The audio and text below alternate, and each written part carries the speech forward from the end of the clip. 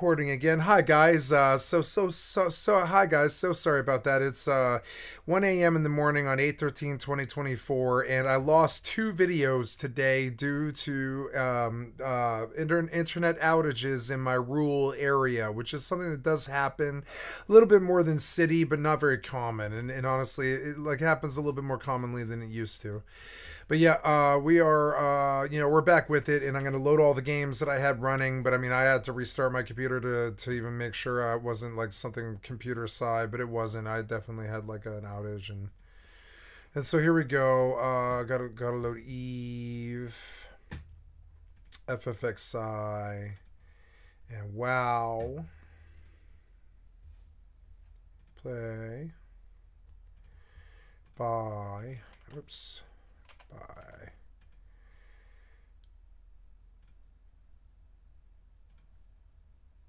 was considered gender neutral. And if you don't know or are unsure of somebody's pronouns, then using they them. I probably lost everybody. I'm sorry. I, I have a bad internet connection in the rural area when it rains. When it rains here, something happens to my cable. It's kind of annoying. It's it's stupid, but you know it's fine. It's still a really good fucking connection normally, you know. Wait, no, I uh, I, I I was on Cat Money when we DC'd. Yeah.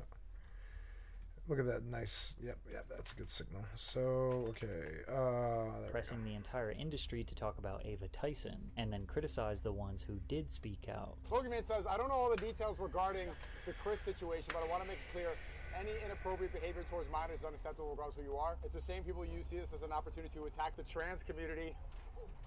what? Yeah, I mean that's how it sounds, man. It does, that's how it looks. Satan runs the industry and Pokimane is proof.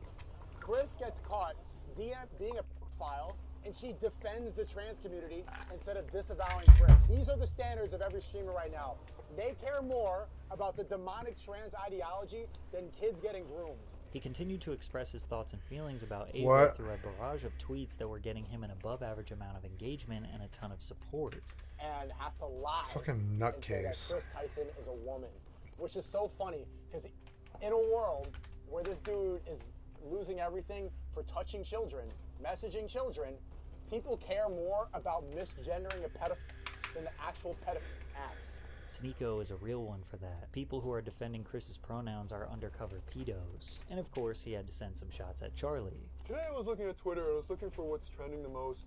And this is the weirdest thing. It's mixed with creepy diarrhea and mixed in a, in a smoothie. So Chris Tyson was actually a pedophile, but this guy Sneako that I don't like because he tells the truth how is he going to tell me that I'm afraid of losing the Poopy Diarrhea Mr. Beast collab? So during Charlie's video about Ava, he shifted the focus to discuss Sneako's opinion on the age of consent.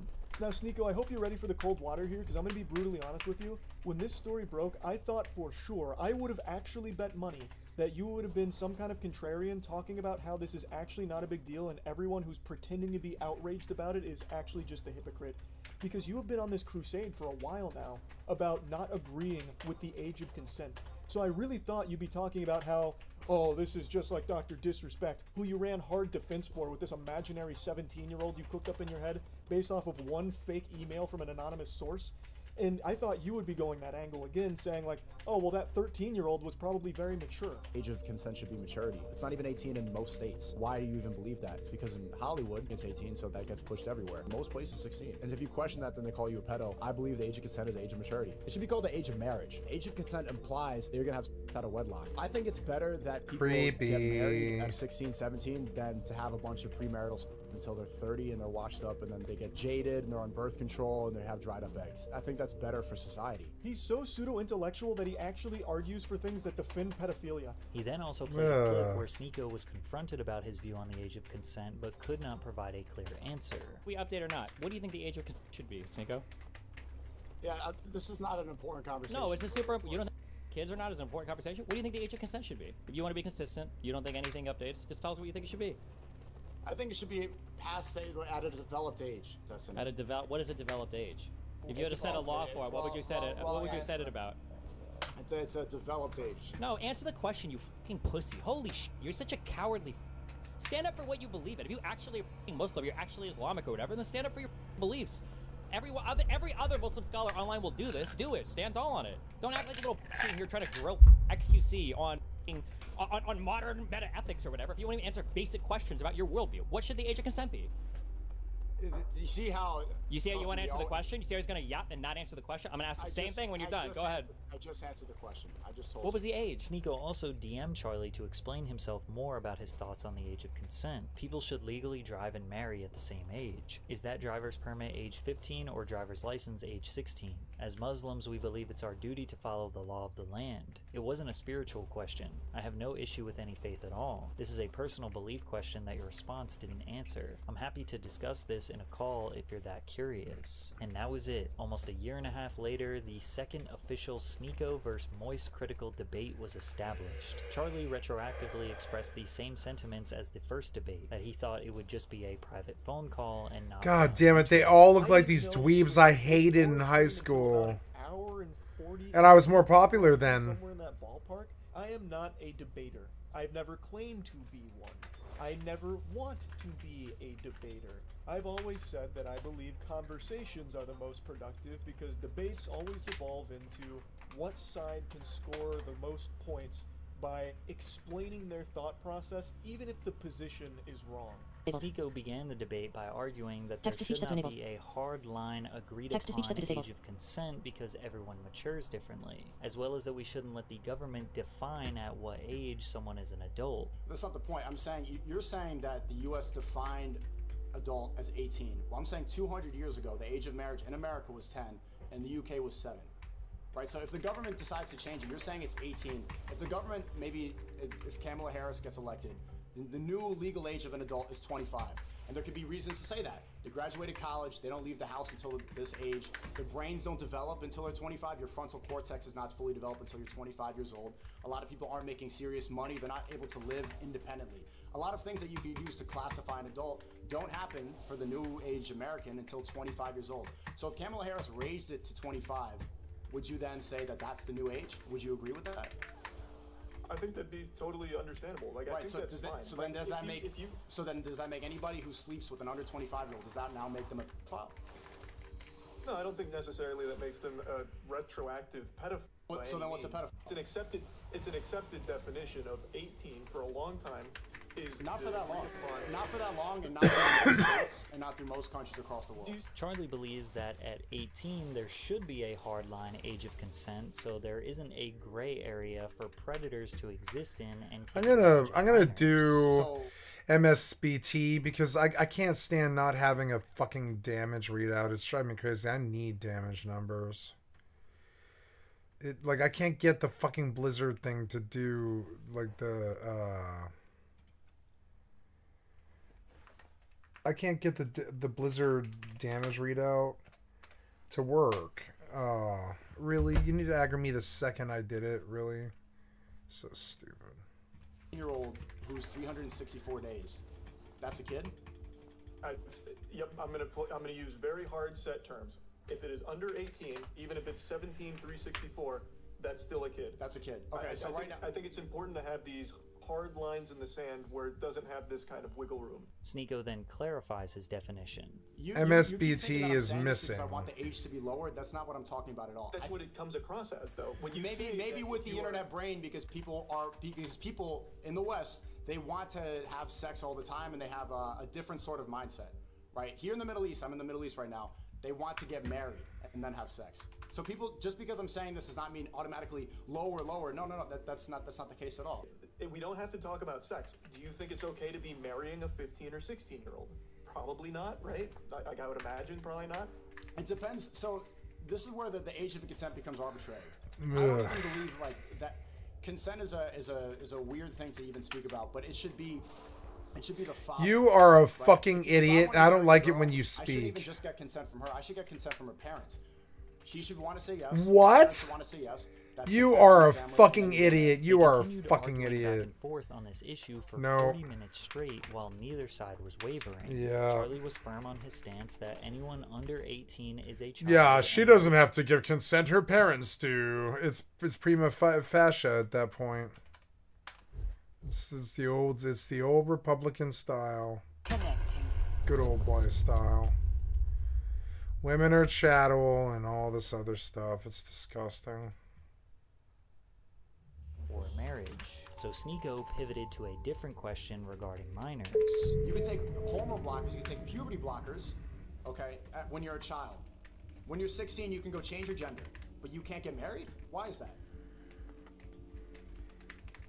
What? Uh, that that's I, I don't know. I feel like that's a pretty obvious question.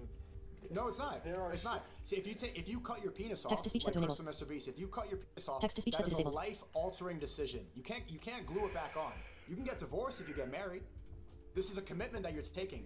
A child, based off the liberal point of view that you believe in, they can have gender surgery. They can change forever. Do you believe that somebody can go through uh, hormone therapy? Can they change their gender if they're a child? I think that's totally fine as long as everyone is consenting. as you agree with. Okay, so as long as everyone parents are okay with it, and you are okay with it. I am. I think that's totally a fam- familial decision to make. Yeah. Okay. Sneako laughs and even Charlie laughs because they both realize that Charlie is using the exact same line of thinking that Sneako used to justify the age of consent. Okay, so a child can cut their penis off and take hormone blockers and change their biology forever, but they can't get married. Oh, that's a decision that now extends beyond the family because now you're bringing in a different party. So if you have someone that's your age coming in saying, "I want to marry that child," I, yep, I don't think that can happen under any circumstance. So, you, no. but it's still a personal decision. You're still deciding. it's- it's- it's but no, no, but it's, no, because there's take the other party out of the equation. It's a personal decision. If I'm or if I'm 16 and I personally want to marry this girl, she's beautiful. She's 21 years old. Her family wants to do it. My family wants to do it. You're saying I can't do that. We're both consenting. I'm ready to go. I'm physically mature, but I'm not allowed to marry because Moy says that's that woman's a pedophile. But He's right about this, then, which the next day I leave shitty. it, I'm depressed. I want to cut my off. I can go right into the clinic, snip it off, and start taking HRT like Chris Tyson. That's a society that makes sense to you?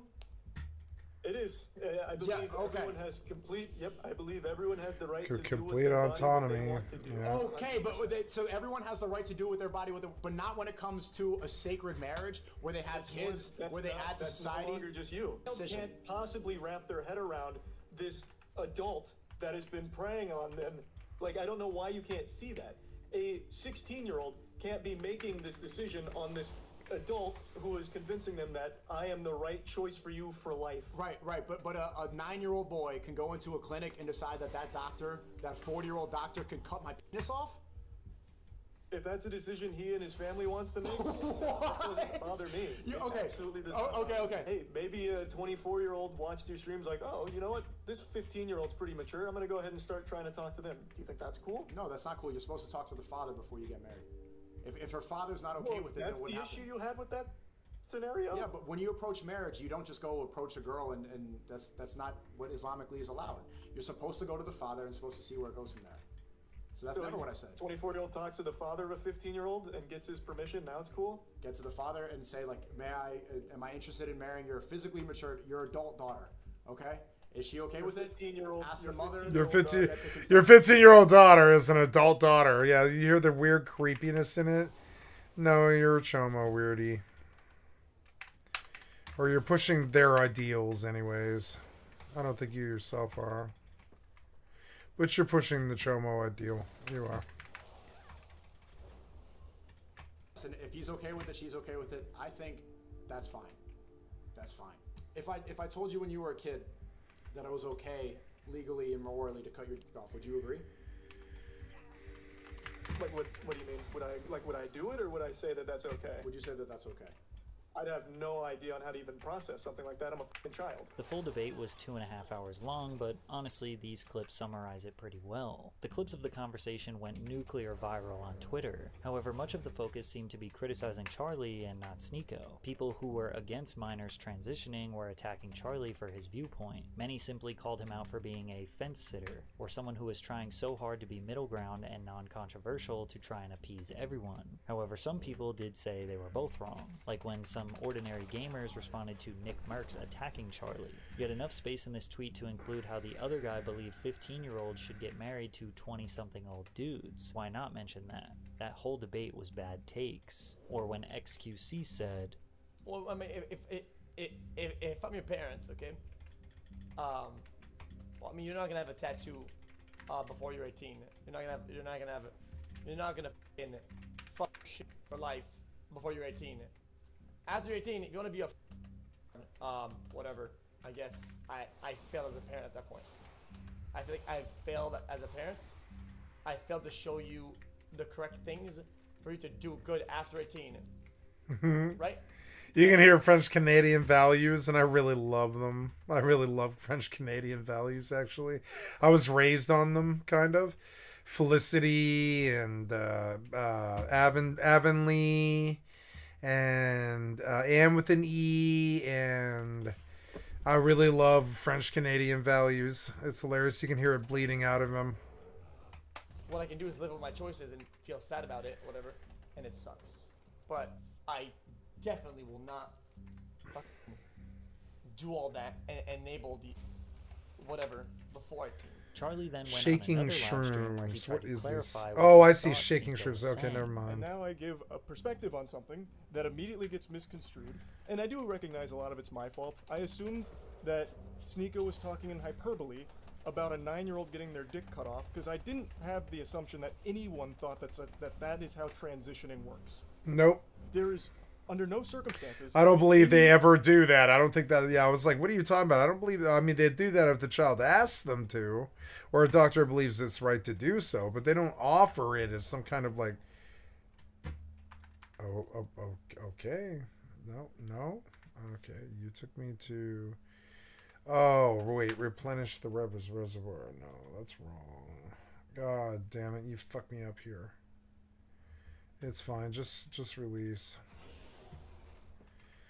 Maybe I better suit, or I'm sorry, maybe I better corpse run. I, I don't think I can recover my corpse. Yeah, just let Your me. time. I shall aid your journey back to the realm of the living. Yeah, just price. just bring me back. It's fine. How's this going? Oh, god damn it. Oh yeah. So here we go. Okay, stop. I think we're ready to st- stay back in business here. And uh, how are we doing here? Yeah, good. I feel like.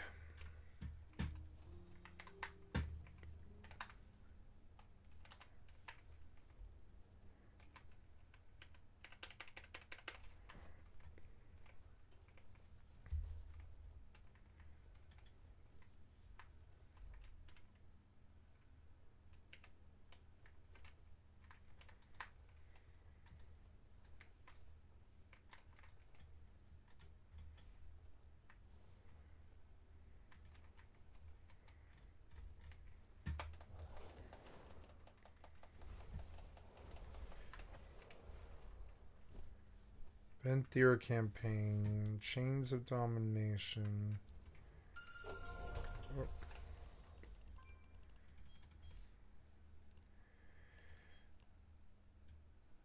Okay, we're gonna jettison.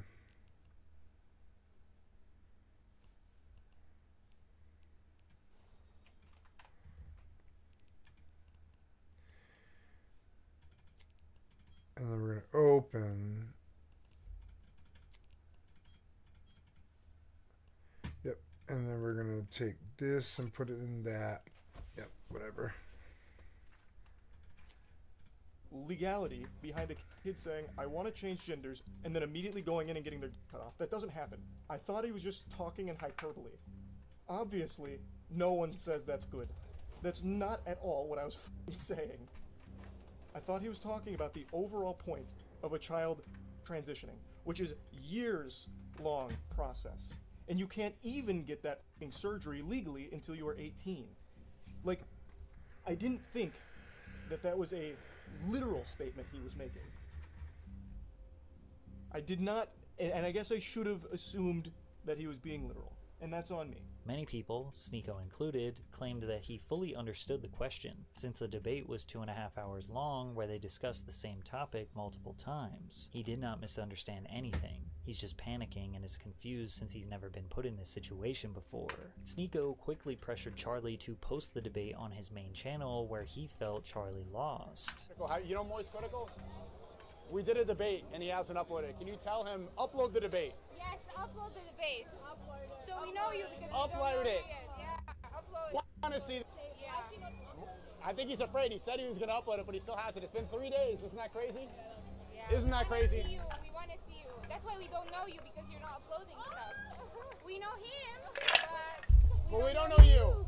Basically, Sneako thought Charlie was too scared to expose himself.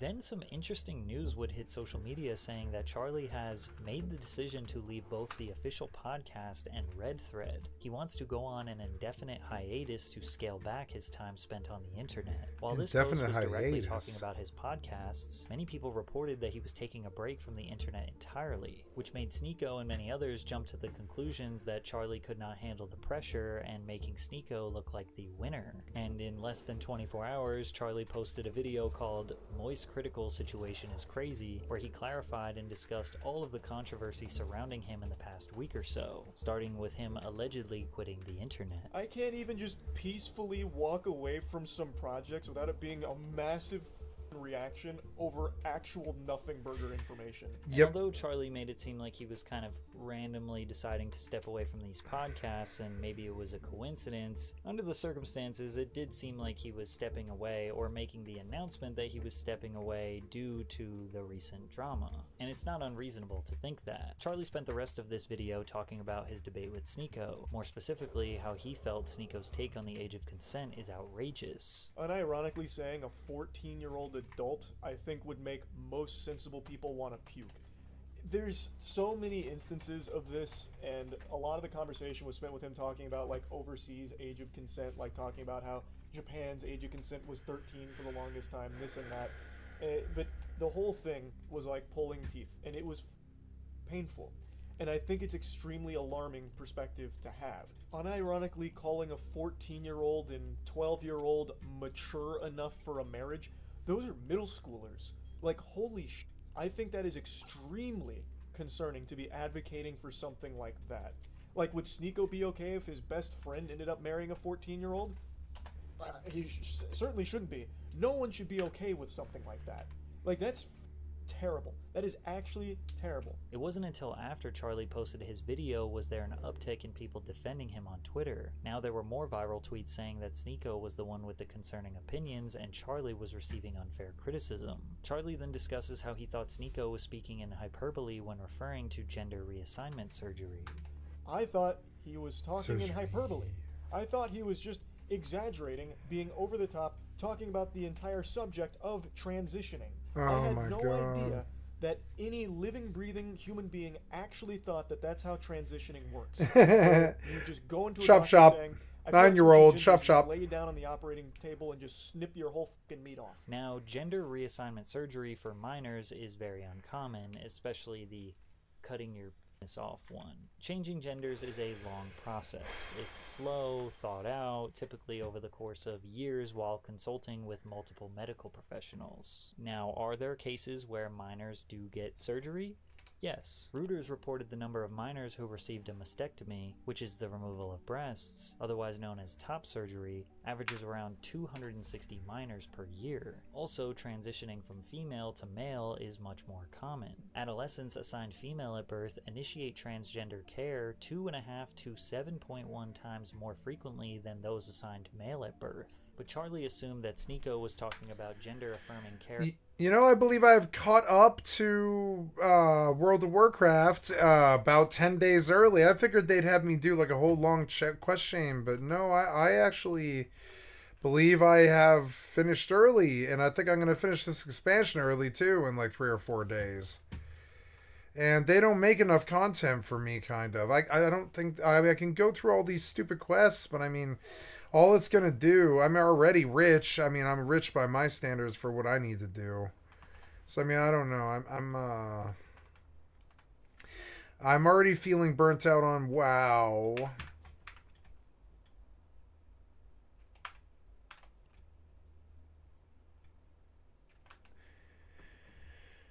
It's weird. I want like a sandbox to play, but but but there's not enough of them. I could I could do Mortal, I suppose. I could do Mortal, I guess. I could play Mortal main, but it takes forever. forever.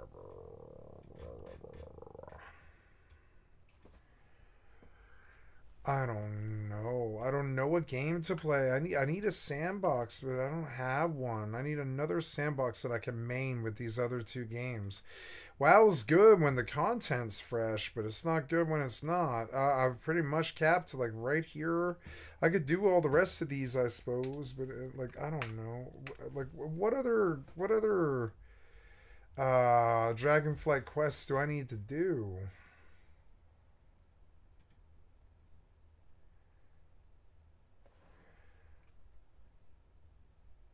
In Tyr's footsteps. I did that one today. I guess there's a whole bunch of quests in Valdrakken that I'm supposed to just chain. I don't like that one. Can we go do that? Will you lead me to, to that? I don't think you will. No, I want to take that one away. Reach middle reach middle of Grove of Awakening.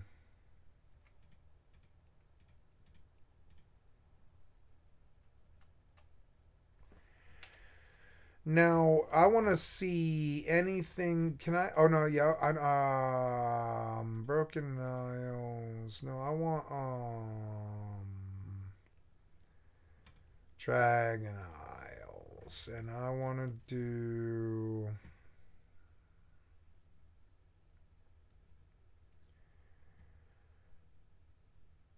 See, that's no good. Uh, there's lots of Dragon Isles stuff to do. There's dragon glyphs up there in the Forbidden Reach, which I haven't even really been to. But it's all wind down stuff. It's kind of boring to me.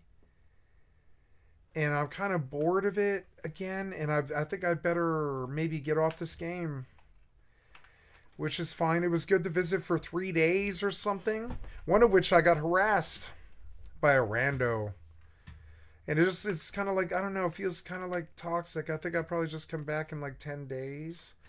I've done what I needed to do. I caught my character up. I, I'm here at the crossroads. I can do all this meaningless crap that I really don't care about. And just keep grinding and live on this game, and I could do that, but the game's not fresh enough for me in that respect.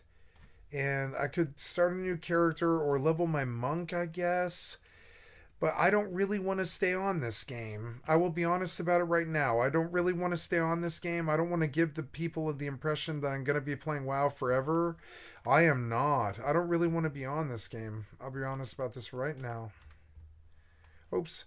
Now, I loaded all my stuff, but you didn't load the right tabs? You didn't load the right tabs. Oh, no. Well, okay. Uh, yeah. Oh, no, you did. You're just not loaded. There we go. There you go. So, okay, uh, right now I'm probably not public on YouTube and I need to be. There, I'm live on Twitch, which is good. Live on Twitch. There we go. I, I lost my connection, which which I lost my, my viewership, which is kind of shitty. That's all right. You, you can't win them all.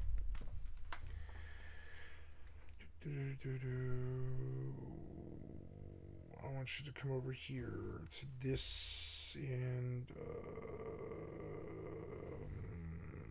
get out.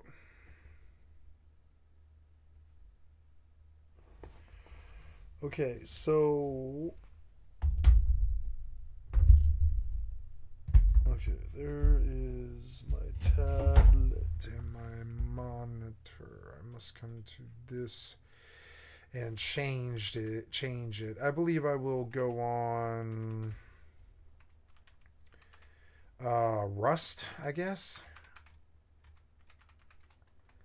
Or yeah, I'm not really feeling like mortal. I'm not. So I'm just gonna go on rust, I think, yeah, for the moment. It's kinda weird.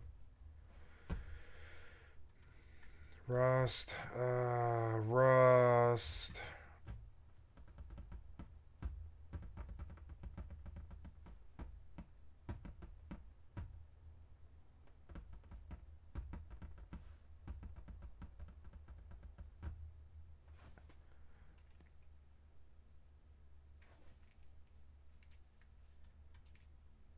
Uh, or I could do Valheim as an option. Doing even, I'm doing well. Uh, I could buy my scroll of refresh now, you know. Uh, but yeah, I could work on some FFXI. I liked the Vane demo, but it wasn't finished. It wasn't totally what I was looking for, unfortunately.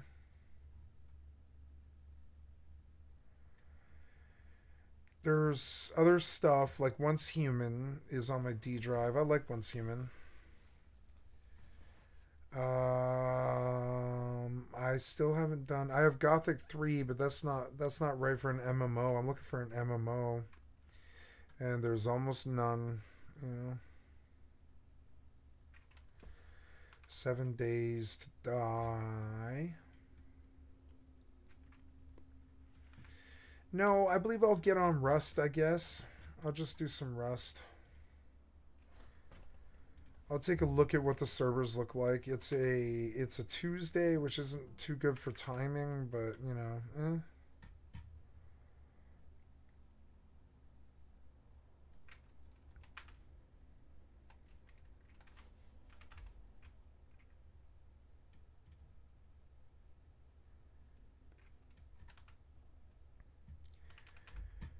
And I will change my titles. We will go from WoW pre-patch TT dubs to Rust, FFXI, and Eve.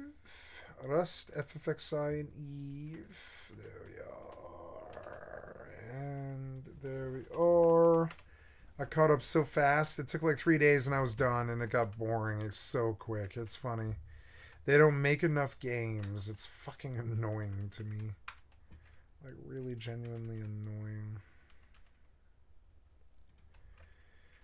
Uh, I don't know.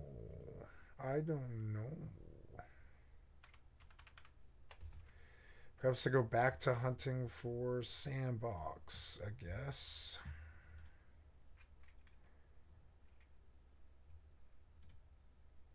Oh, this is a different, this is a different, like, batch of tabs, which is stupid. There. Okay, get them. We will take a look. The tool cupboard. Unlock the skin by purchasing shop by Rust server hosting. Hmm. By Rust server hosting.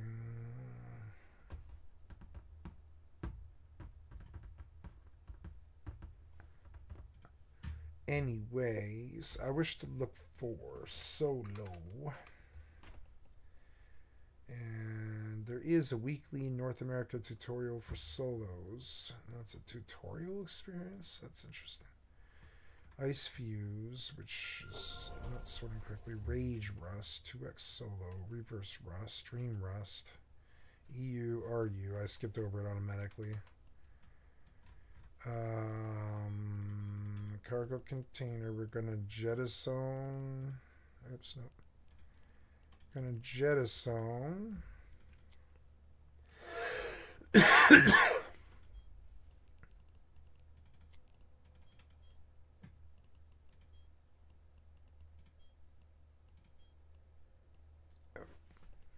And now we take the old and put in the new, and now we don't have really have a timer going. And now we got 18 million again.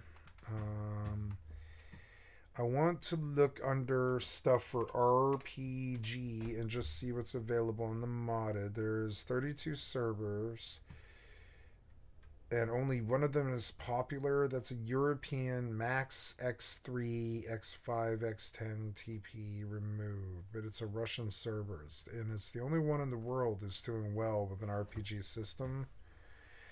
It doesn't really matter if it's actually good. But I mean, I mean, with yeah, I mean that that server's full. I won't have an amazing ping. I really would prefer that it wasn't. Uh, yeah, like I would, I would, I would prefer North America. No, okay, it gives you an idea. Well, yep, and all the rest of these are like really foreign servers. My scene is almost entirely foreign. And I didn't know. There's one that's no, no, it's a it's Russian. There's one with one player on it, Nomad's Nook. 2x PvE RPG prestige system and events, but well, let's do there are customary Rust Rust ser- servers. I like uh, I like my my hardcore zombie server, and I could go there, but I, I would prefer to do some some form of PvP today. Burn Zombieland has 60 people and it's got a it's a bi-weekly PvE role play. Designer server from the player for the player, 500 rateable bases, starter kits, custom maps, tons of events, active admins, QOL plugins, economic system, and shop system. Uh, water bases, cooking 2.0, crap buff food, join PvP raid island, items with perks in slash shop, checklist, shop and stock market, about 500 rateable bases, zombies, check system quest, gamble cases. This is a popular server. This Russian server is really popular. TP and Friends. Rust Sakura. It's a zombie server. Maybe I should try that one, but I don't know. Rusty Spoon. US PvE has zombies. No kill, no Ray, Raid base quest. It's all burn Zombieland. That's uh extended industrial water bases. Skill your skill your character and level up to 300. That's the burn Zombieland. Burn Zombieland. Zombieland Skyfall. 59 out of 100. Hmm. QOL, water bases, cooking 2.0 craft food, and all that stuff. Zombie Hell. Zombie Hell. It's a 5x PvE server. 5x is okay, but I don't think it's.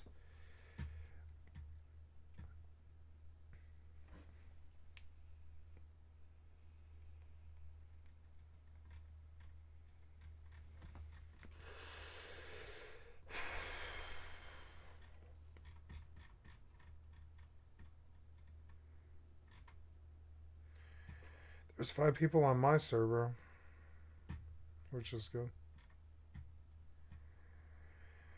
Yeah, I guess I'll just pop on that one. I know which one I want to be on. It's just, you know. Uh, uh. oh, I wasn't mining. Oops. Shit. There we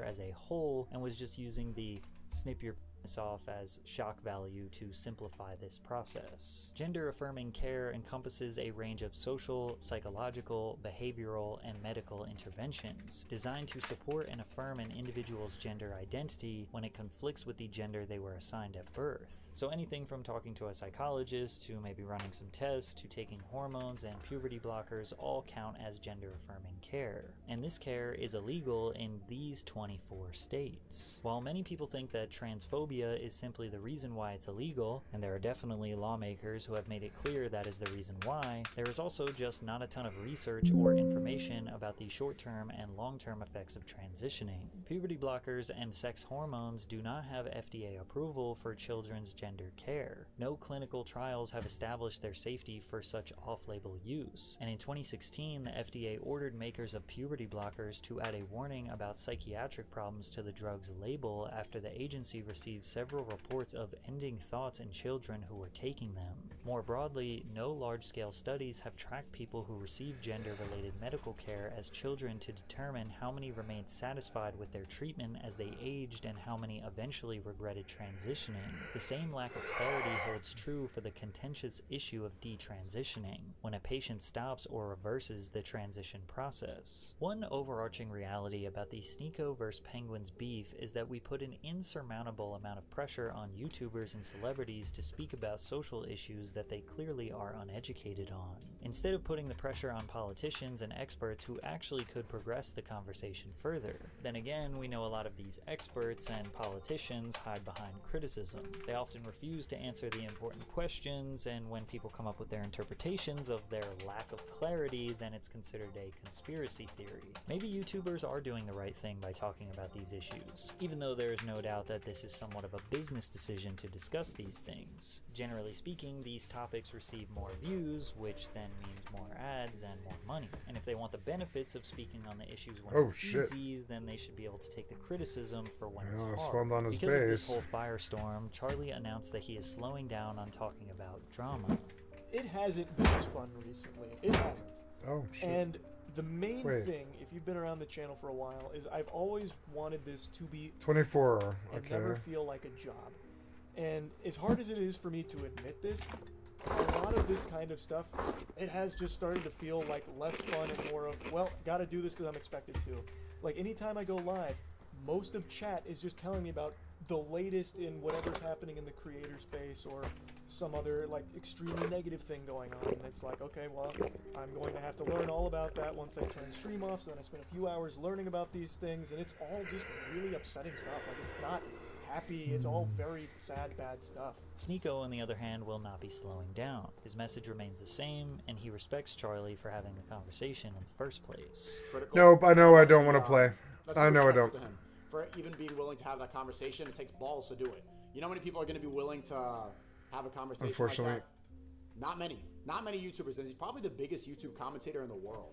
I've personally done more research on this. I'm just gonna than drop to that. have, That's just to fine. get a good perspective on both sides, which I would say is a net positive overall. Because at the end of the day, it is your decision to determine how you feel about any issue. But if you did not do your own research, then can you really say it's your opinion?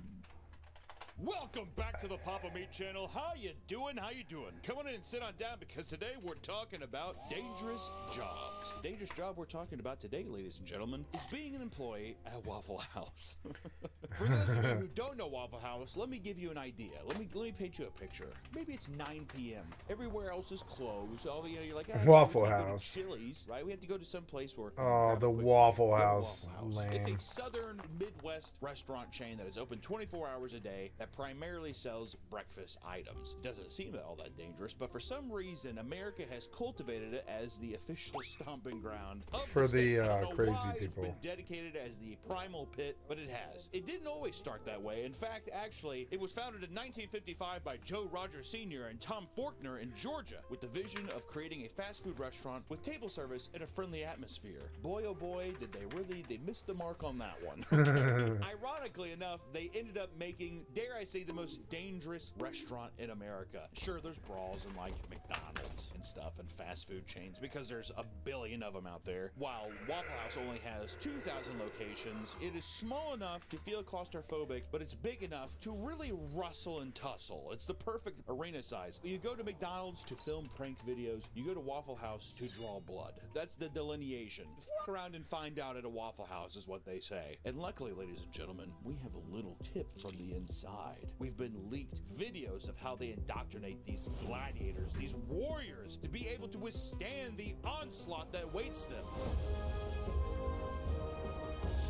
All right, first one up Waffle House training, the pole drop mark order calling method. My objective here is to get you guys feeling like you could do this job. So let's see what we can do here.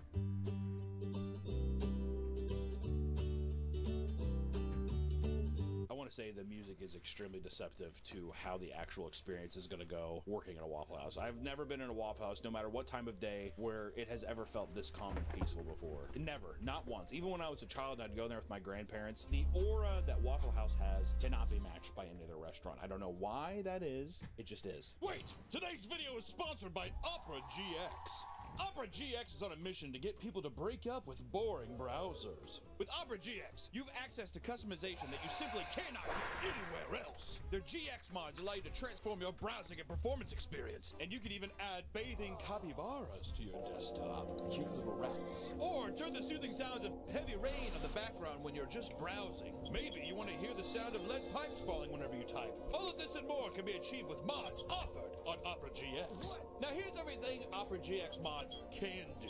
They can play background music, keyboard sounds, opening and closing tab sounds, theme and colors of the browsers, mods dedicated wallpaper, disabling and enabling mods and individual modifications in the mods menu available from the sidebar. And you can even visit the GX store, which shows the wide range of mods available to explore and create. Opera GX now has AI powered tools such as AI prompts, ChatGPT, and ChatSonic. Use smart AI prompts to summarize articles or find related content about a topic so you have more time to play games and enjoy surfing the web. Wow! Plus, ChatGPT is one click away in the sidebar. Opera GX is also equipped with an import tool that allows you to quickly import all of your settings from your previous browsers to Opera GX, like browsing history, bookmarks, and even cookies. It's also compatible with every Google Chrome extension. So it's time to change things up. Use my link below to download Opera GX today. Or click the link in the description and pinned comment to start crafting your ideal browsing experience right now. Thanks to Opera GX for sponsoring the video, and back to the video. Hello, my name is Greg Hall. Today we're going to discuss the pull drop mark calling system. Greg Hall's been through the wringer. I want to say Greg Hall maybe had a couple drinks before this, and they're like, God damn it, Greg, and they had to comb his hair. Come on, Greg. And he's like, What? I'm just, it's what? I'm the area vice president. What does that mean? Area vice president? The pull, the drop, and the mark. Look at Greg smile at the end of this. By the end, he says, Pull, drop, mark. Come look at this real quick. You pull the pussy, you drop the pussy, then you mark the pussy. They're like, Greg, cut it, cut. Pull one quarter. The pull refers to the number. Yay. Pull one quarter. Pull one quarter. That's deceptive too. It's never that. It's always just like pull one quarter. Doesn't matter. There could be two people in the restaurant. Yeah, pull, pull one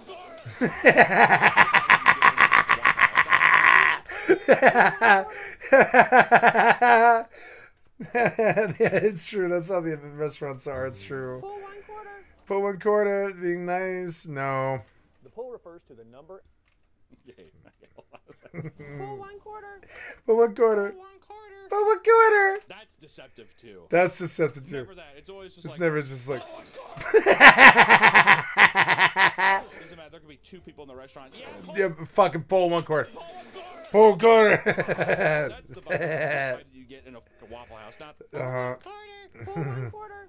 The pull refers to the number and type of meats to be cooked. Pull one bacon, for example, would instruct Pull one bacon. to pull three strips of bacon from the refrigerator and place it on the grill. pull one bacon equals pull three strips of bacon. So now they're getting now they're getting into their own math. You're gonna really see how archaic Oh, no. whatever these things actually mean. Oh no. numbers refer to the number of orders to be cooked and not necessarily the number of pieces of meat. While you pull one T-bone when pull one T-bone is called, you would pull two pieces of pork chop when pull one pork chop is called because one order of pork chops is actually two chops. What? Yeah, one one is One equals three, What, what's two. confusing about two is one doesn't just mean three across the board. One represents different numerical values given the pieces of meat. Like, there's no way that that can actually like help you save time. Right? He said pull two, so was pork chops. and Dude, beans, that's three is two six. three. It's 14, 21, 21. I think it's 21. Does not need to be called in at this time. And steak is rare or medium rare. If you go to a Waffle House and you order a medium rare steak, you're like, what the fuck? Like, why? Can you Why? get a Medium rare from your sweetheart, that wagyu you got on the on the Can you barely cook it? Can you barely cook it? Steak that you can probably have had in the bottom of the freezer Yeah. Can you make sure that that thing is just barely pink? Barely start? Thank you. pink. Yeah, fucking system. This is disgusting. really why I want. I'm like, well done, well done, or medium. I don't know.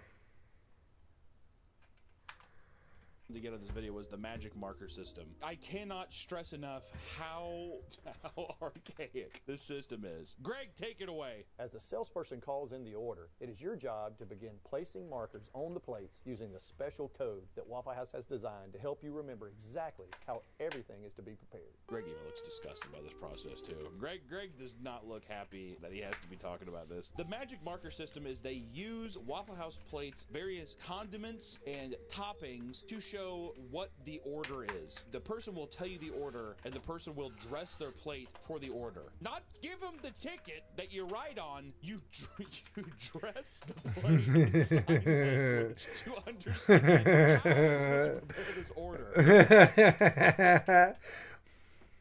Does not look happy that he has to be talking about this. The magic is they use Waffle House plates, various condiments, Oh and no. toppings to show Look how confusing that is. is. The person will Oh take the order, no. the person will This is probably like some people's like ulcers.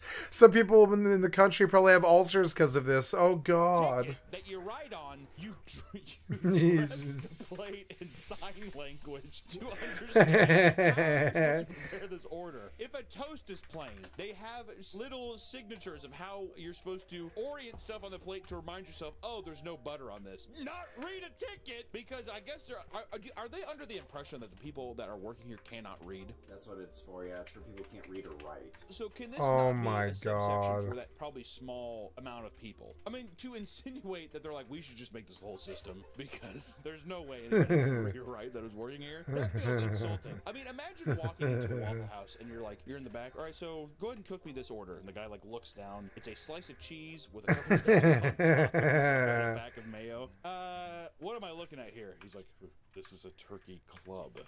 Are you sure you are supposed to work here? We call the system magic because our customers often do not notice the markers on the plate and think you have memorized all of the orders that were being called in. I like how it's like a weird. It's supposed to be like you flexing on the people. Now the people are going to be very impressed that you were able to remember scrambled eggs, hash browns, and bacon. But in fact, you've duped them. You've dressed a plate. You have it marked down so you can remember because your brain does not work that well. Working the order scramble. Simply place a right side up jelly pack God damn it. the. The God damn it. eggs, What if I don't want to? What if I want to put the honey there? What if I want to put the fucking Smucker's, whatever that thing is, apricot jam there? What if I want to put the apricot jam there? What if the ketchup and mustard, like, are going up and down? I think the up and down of the ketchup and mustard is much better in that oval corner than this box. Do you understand? The box in the bottom of the plate angers me, and I don't want I don't want you to be my boss anymore. I quit this shitty job. I fucked your wife, and I stole all the bacon.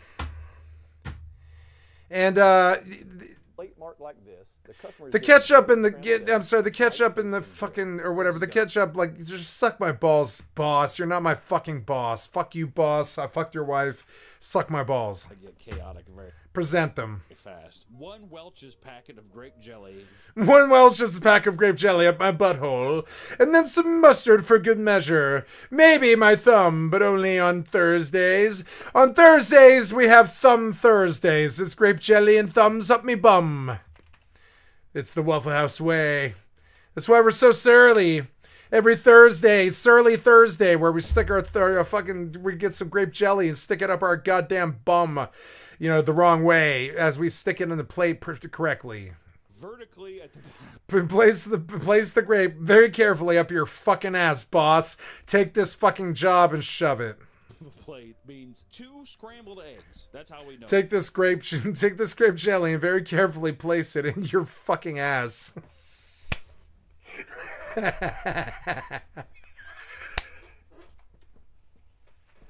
I'm sorry.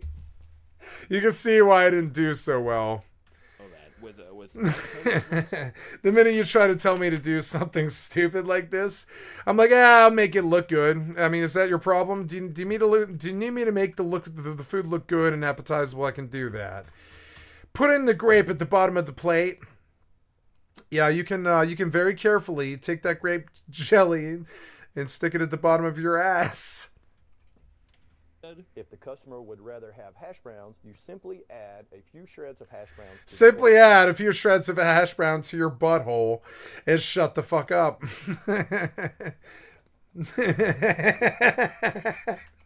this fucking you're you're you're you're you're kind of uppity, boss. Shut the fuck up, boss. I'm not listening to you anymore. You're too bossy. God damn it. This is why I don't have a boss, is because they make you put the grape jelly at the bottom of the goddamn plate. So they can satisfy their own weird fucking ritualistic fucking jack off fucking thing. And I just don't I mean I'm sorry, but I'm just I'm not really too down with it. We can all admit that this is a living joke, can't we? We're all working for minimum wage at the bagel shop and you you want to take your grape jelly and shove it up your fucking ass sideways, you fucking piece. and the boss isn't even real. Imagine if the boss was real, how angry and hostile I would get. I'm not an angry and hostile person, actually, in the workplace. I'm actually not, believe it or not. I am when I have the room to myself and I can be my own goddamn talk show host. but I, I, I don't have it when it comes to other people. Then I'm just quiet. Like the other day, I accidentally whispered this dude that I just blocked and called him an asshole, being like, "God damn it, I should have been quiet and not said anything. I'm sorry." And he was like, "I please don't talk to me. I don't want to talk to you." And I was like, "Yeah, I don't blame you. Have a nice day, buddy. I'm sorry I called you nasty. I'm sorry about calling you nasty names. I wasn't sorry about what I what I said, but I was like, I, and I, I left. And that that's an example of what can happen with me to with me uh, when I'm dealing with muggles on a video game, right? I can't even imagine. I can't. I can't imagine because I just not subjected myself to it. I have not subjected myself to muggles in in 13 no longer than that. Shit no no it's been yeah it's been um yeah it's been 14 years. It's been 14 years since i had a job with with muggles beyond uh working flagging at a construction site well uh, for sorry for for day labor. For, i worked with a bunch of muggles when i worked day labor but i don't mind that. I'm used to that. I did that all my life right? And that was in 2020 uh 2020 yeah uh right? Yeah 20 uh yeah 2020 i think was the last time I did that was like four years ago, and uh, yeah, and uh, I like that, but I also don't, and I really hate it. so, so sort of, you know, I need the money, and I think it's a really good opportunity being able to go flag traffic for a little bit more money and do it, you know. But I also really dislike it because I'm better than that, and I and and um, that was the last time I had a boss, and if, and if you recall, you leave the you leave the, the I don't know if you ever work for a day labor place, but you leave the day labor place on the bus with like a stop sign and your homies, and then you go on down to the fucking you know your homies being like the dudes that are doing the same job for you so they can score fucking heroin or methamphetamine or whatever the fucking play is. Uh, probably alcohol most of the time. But like you know they, need money for a bottle that evening and they know that they don't have it. So they're there that they did show up at 5.30 in the morning. They work until like you know 4.30 in the afternoon. So they have a bottle that evening and maybe a meal right? That's about what good day labor is for, in my opinion. It gets you about a bottle and a meal, a bottle and a meal, maybe a sack.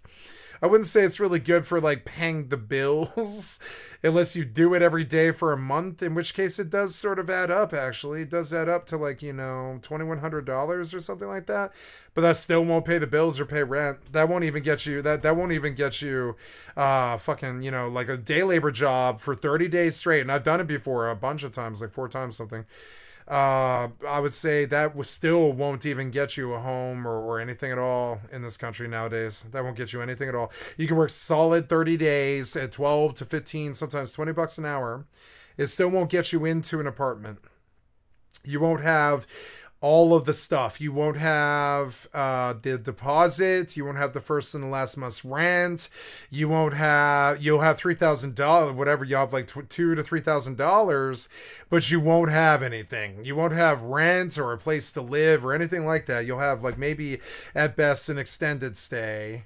And then you got to live in the extended stay because the minute that you have to pay rent and uh, first and last month and deposit, that's like three to nowadays it's more than that it's like three to five thousand dollars or something like that. Who the fuck has three to five thousand dollars? You're not going to have that if you live if you're living in the extended stay you're probably going to be drugged out and drinking or something like that. You're not going to have you're not going to have three thousand dollars in the extended stay. Somebody will probably rob you if you do that Nobody in the extended stay has three thousand dollars lying around. I really did. Even when even on our best day, I think the best day we ever did as a stripper taxi driver uh, couple was like seven fifty or something like that. After the dope and the food and the gas and the time and the fucking you know problems, it was like maybe seven fifty sitting in her pocket because she's a stripper. You know, everything I got I spent and you know so that's fine but it's, it's just you know it's, it's just sort of interesting and it gives you it gives you like like kind of an example of how hard it can be to literally pull yourself to your fucking like off the fucking streets in this country.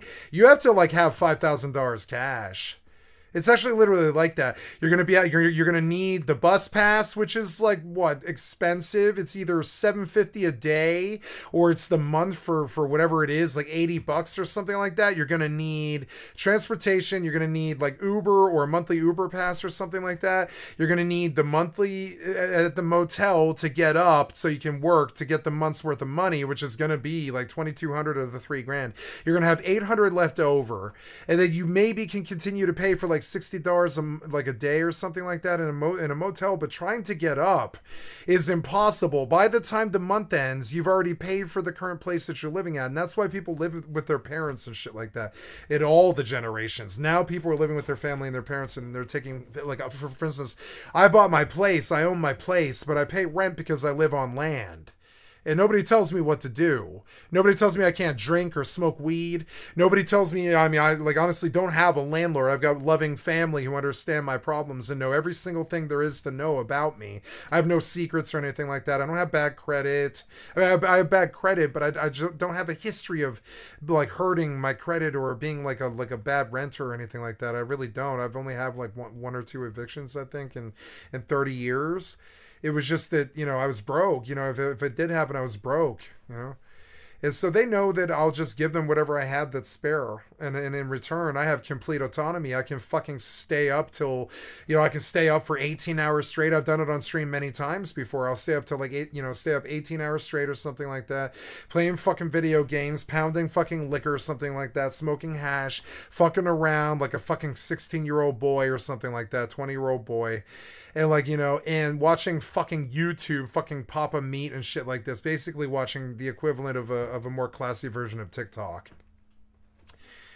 And the other reason i bring this up is, is it's just like i pay for the autonomy to be able to do that pretty much all my money.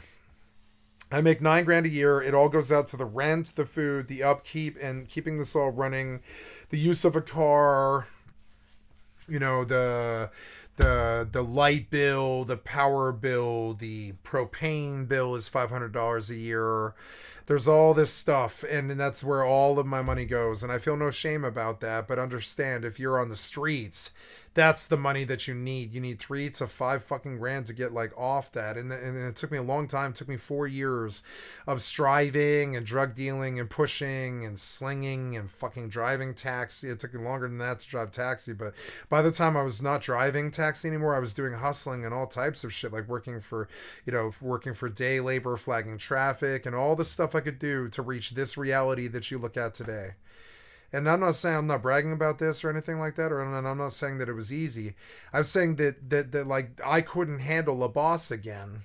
I told them I was like I oh, I hit this terrible place at the end like right at the end it was like I don't know 5 months before I'd been in the madhouse and, and, and they told me 24 months they were like 24 months in a rehab and you'll be out of you'll be out of the system like they promised me in the drug court you know, they, or not the drug court, but the, uh, you know, the Denver fucking DA promised me he was like, if you do two years in the in the halfway house and prove that you're you're clean the entire time and drug drop drug tests and stuff, we'll let the probation violation go. We'll see that you we see that you haven't done anything in 17 years, and we're gonna give you the you know we're gonna give you the benefit of the doubt, but you have to be perfect and you have to show us that you're actually addressing your problems and and you know if you're not working, you have to be seeking a disability claim or something like that. And I was like, okay, and we did this, and in the time that happened, I did get my disability claim. It took, and, and, and, and I remember it was like 16 months into the 24 month bid.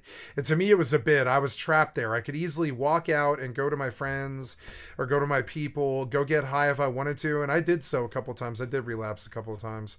It sucked. And, and, and like, you know, and, but I didn't do it a lot and I stayed sober and I actually took a friend for like 14 months of that. We just played Tarkov and, and fucking, you know, Rust and shit like that and, and games, Fallout 76. And, and it was, it was a great time, but it was also prison and I did get out of the system because of it and paid my debts to, to, to, society. And in the time being, I like retired my business. I, I, I applied for pandemic on assistance relief. And because I've been a gig worker on and off for 16 years or and or a taxi driver, full blown taxi driver for 13 years and a gig worker for three, more like five really. Uh, it, like they were like, well, you're an American who works. I have I have a tax record. And They love me. I pay my taxes. Always have. And you know, and they're, they're like, well, you're an American who works. That's very rare. You're in a, you're like a working functioning drug addict. And I'm like, yep, I'm a working functioning drug addict. That's exactly right. I like my methamphetamine and I like working. Always have and uh, I don't like working. I just like being productive, and there's a difference. If I'm not, if I'm, and, and honestly, productive to me is chasing my life stream of, of, of making my living being a video game player. It's not productive to flag traffic or sling dope or fucking run with strippers and live in motels and shit like that. I, I, it's not or be a drug dealer. It's just not. It's not fucking. You know, it's not productive for me to chase the dream that isn't mine.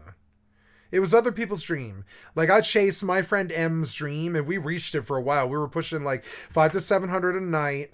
You know, two to three hundred of it was dope. Two to three hundred of it, of it was a motel room and food and transportation and money and her beauty products and stuff. And then the rest of it was in her pocket, which she would spend on dope on a rainy on a rainy day and you know and we lived like that for two years and seven months and i remember it but i understood that even with stripper and taxi money you can't really dig your way off the streets. You need a home. The, the, the country needs to help you with, with with with a place that you can get three square meals a day without it breaking your fucking piggy bank.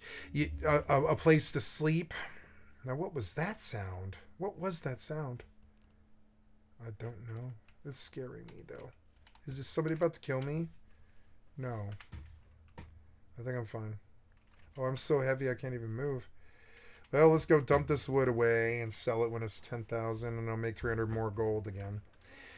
So, and, and now, like, you know, it's so it, I, I watched what it took and I was like, mm, yeah, you know, like it doesn't matter if you work all 30 days of the of the fucking month at a, at a $12 an hour job and, and make like, you know, 120 bucks a day and, and, and you make three grand. I did that several times.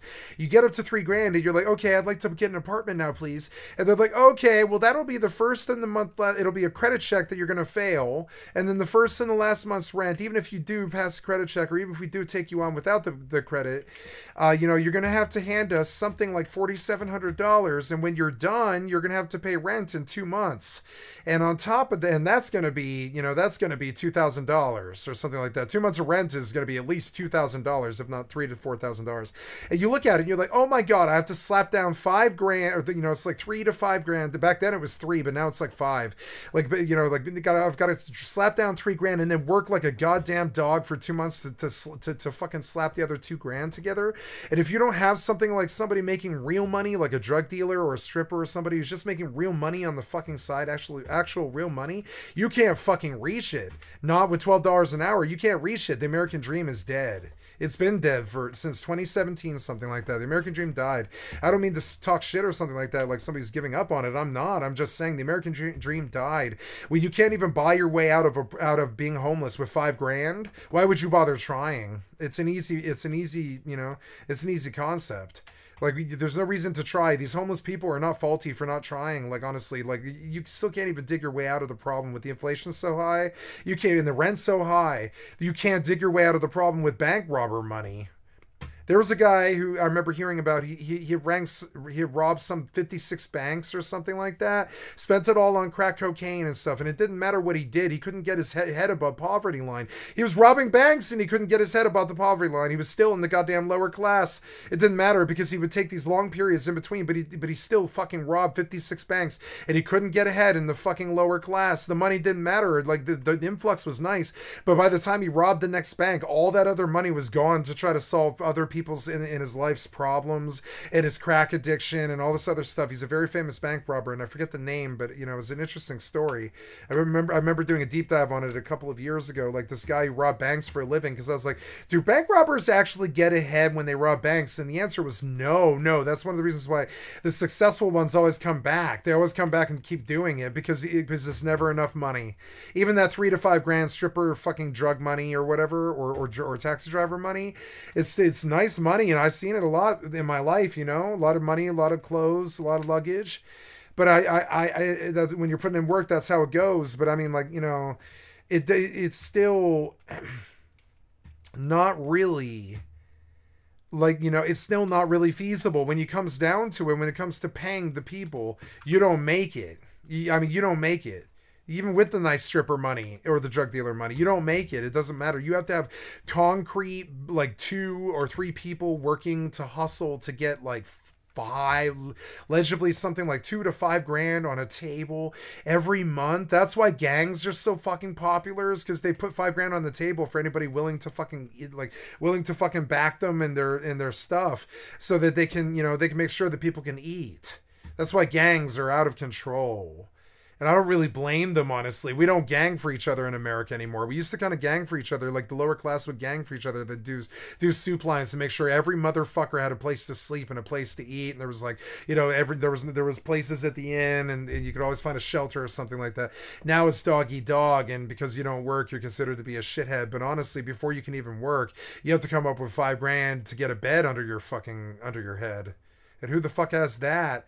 Your parents don't have five grand funny money to just try and take a swing at getting an apartment. Like, why? Why would these people on the streets? I mean, it's sickening. The prices have gotten disgusting. If the prices were better, if it was like twelve hundred bucks to get somebody off the street and into an apartment with a work with a workable car, they would go to work and they would start taking three showers a day and they would kick the fucking habit. Trust me, this is how this works. If you enable the people to fucking enable themselves and you surround them with other people who have faced the same problems and they get support from their community. And Friday nights they don't go shooting shooting dope down at the dope house. They go downstairs and they play Wii tennis with their fucking friends who have all been dope addicts before. And we and we know we know in the scene the doctors have told us the nurses know. Uh, so you know uh, uh, Neil Sampat proved that that that uh, that uh, support from other drug addicts is what actually cures drug addiction. It's it's not fucking jail. It's not reform. It's not making the drugs illegal or trying to ban it or, or, or trying to block them from getting it. That just causes cartels, which leads to CIAs and problems. I mean, we got bad, bad problems. And so now like we, we need like to understand that, that, that the, the drugs are everywhere. You can't stop it. You know it's just stupid. It's kind of like the border. Like mexicans are everywhere. You can't stop it and I don't mind it honestly. I think it's fine. We just need it some form of like being careful and respectful. That's all. We just need the average amount of, of policy and politeness that we do for everything else in America, from the DMV to the fucking you know with the same same politeness and same understanding and same service and same caring, outlooking individuals that are in the police, the fucking the paramedics, the fire, you know the the doctors, the medics, everybody like everybody who helped build this this country and make it what it was. They have a place here. I don't care if they fall into the streets and become a drug addict and, so, and stole stuff from stores to get by. I don't care about that. The reason that they're doing that is because it takes more than three to five grand to, to, to pull your fucking to pull yourself out up by your bootstraps. I know because it took federal aid for me to do it. I saved up three thousand seven hundred dollars, and I still had to take like forty some odd, forty some odd back uh, retro pay for for disability on Asperger's, and the government themselves told me that they felt that they should have retrograde paid me since since um uh, since since uh, like since the Asperger's became a diagnosis, but but they couldn't. They did it as far back as they could, which was the first time that I applied to disability, and they worked with me, and the lawyers won with that one too, and the court was sympathetic, and they wanted to help me. It was crazy. They took a look at my case, and they were like, "We're going to help you, and we're going to help you with this." But one thing they couldn't do is they couldn't retro pay all of my life, or I would have been able to solve all of the problems in my life. I was only able to receive five five five years of retro pay, and I used it to buy this home. I mean, and as it was, I used the seventeen hundred that I had left, and I and the rest of it was all like you know, and the rest of it was all you know, and also I had to buy my way out of problems too. Something a drug dealer will never mention is when they actually have to leave the scene, you have to buy your way out of goddamn problems too. Like I had to kind of buy my way out of problems with either like blood or money. It sucked. I had to buy my way out of problems. It was so stupid. Blood or money. I had to do it several times in my lifetime. One time I traded my cat, my cat that I lovingly raised for 12 years, to pay for rent. You know, and this was because the Republicans kicked us our asses out on the fucking streets on, on December 15th of, of 2015. And I had to pay for rent in December and January. And I was like, well, you want my cat, and I want two months' rent and I know that you'll take care of him and love him as I have because you have done so for two years and I've seen it.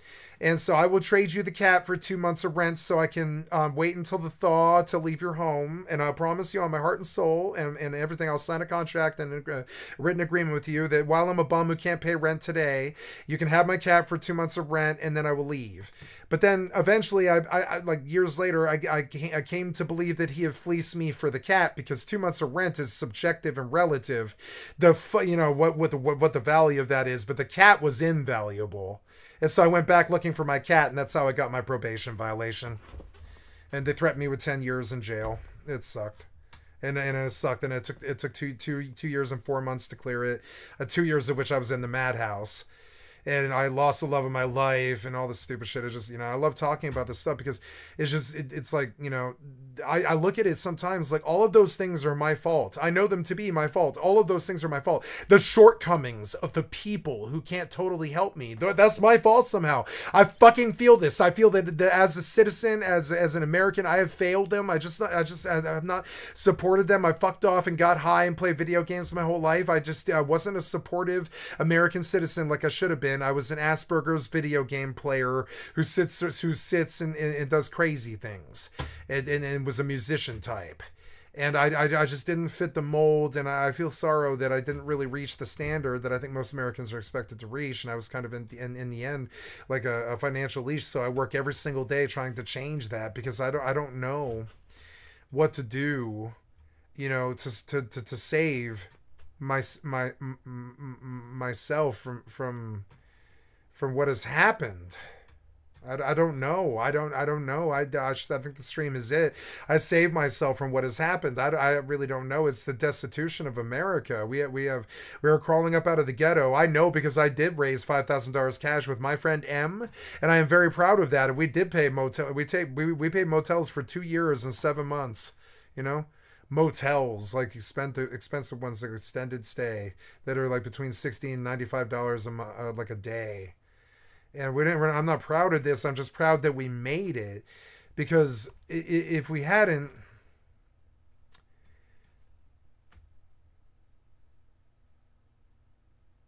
I mean, I don't think she did make it. Not really. You know. Work tray there. That was my best friend for goddamn three years or something like that. I mean, like it was it was thick. We were like partners. We didn't hold counsel with anybody the fuck else. I didn't ask anybody else about anything or anyone. I just loved my heroin my heroin girl. You know, I loved my heroin girl, and she would do anything for me, and I did anything for her. You know, I loved my heroin girl like a good Everclear fan. And um and now I lost her and I lost my next one after that and and I'm sure I'll lose my next one after that because it because it's just you know it's just never good enough. I never have the 5 grand to buy my way out of the mess and when I do, it's not enough. It sucks, you know. I had a very I lived I lived in the lower class all of my life. I think I, don't think I ever even made seven figures in my whole life, and if you count everything I ever ever worked for, I believe it's something like maybe two hundred and seventy five thousand dollars or something like that. If I and I worked for like seventeen years of my life, and um, You're gonna- I, I mean more if you can count the stream. I, don't- I, don't, I can't tell. The stream doesn't pay, so I don't call it a job. But uh, but if you count my stream, I'm I'm at twenty. I've been working for twenty years of my life dribble him on the top of that. and I mean, I had large gaps in between since since when I was 16 to when I was like you know mid 40s. Of 20 out of the 24 years I did work, something like I think like 17 to them, 17 of them. There was a like seven years in there that I really didn't fu- fucking work. I just fucked off. But even then, if you really count, like when I was a drug dealer, and when I was a credit card thief, and when I was a fucking uh, you know, fucking bad person that I did all the time for and all this stuff. Like fucking, you know, the the problem was is is, you know, you have these large gaps, large gaps in the fucking time. I'm gonna get off the subject now. I just like talking about this stuff freeform because it's kind of funny. Plate there to remind yourself that there are hash browns there. And once again, There are hash browns. people clapping in the back. How the hell did they memorize? I love getting off on it because it's like I don't know, it's it's like trippy. Like in the end, even with the five grand, we didn't make it. With the five grand, like honestly, I have some sympathy for the homeless and, and stuff. I had five grand in my hand, and it wasn't enough. We had to save and save and save. The five grand was not enough, is what I'm getting at here. It took me a while to get around to the goddamn fucking point, right?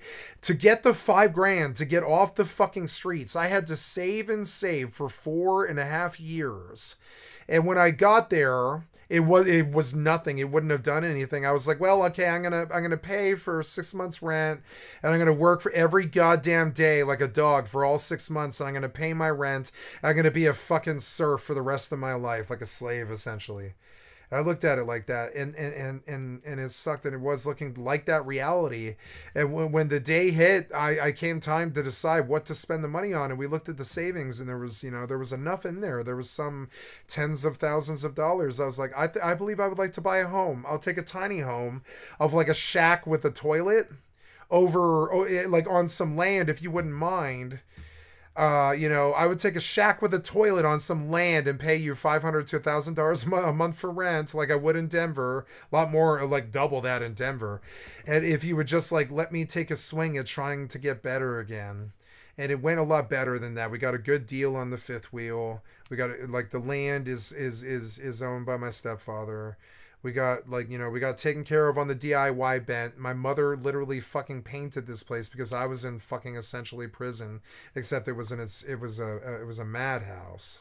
It was a it's a place for people that have terrible like you know mental problems because of real life issues not people that came and walking in being like i'm crazy please help me.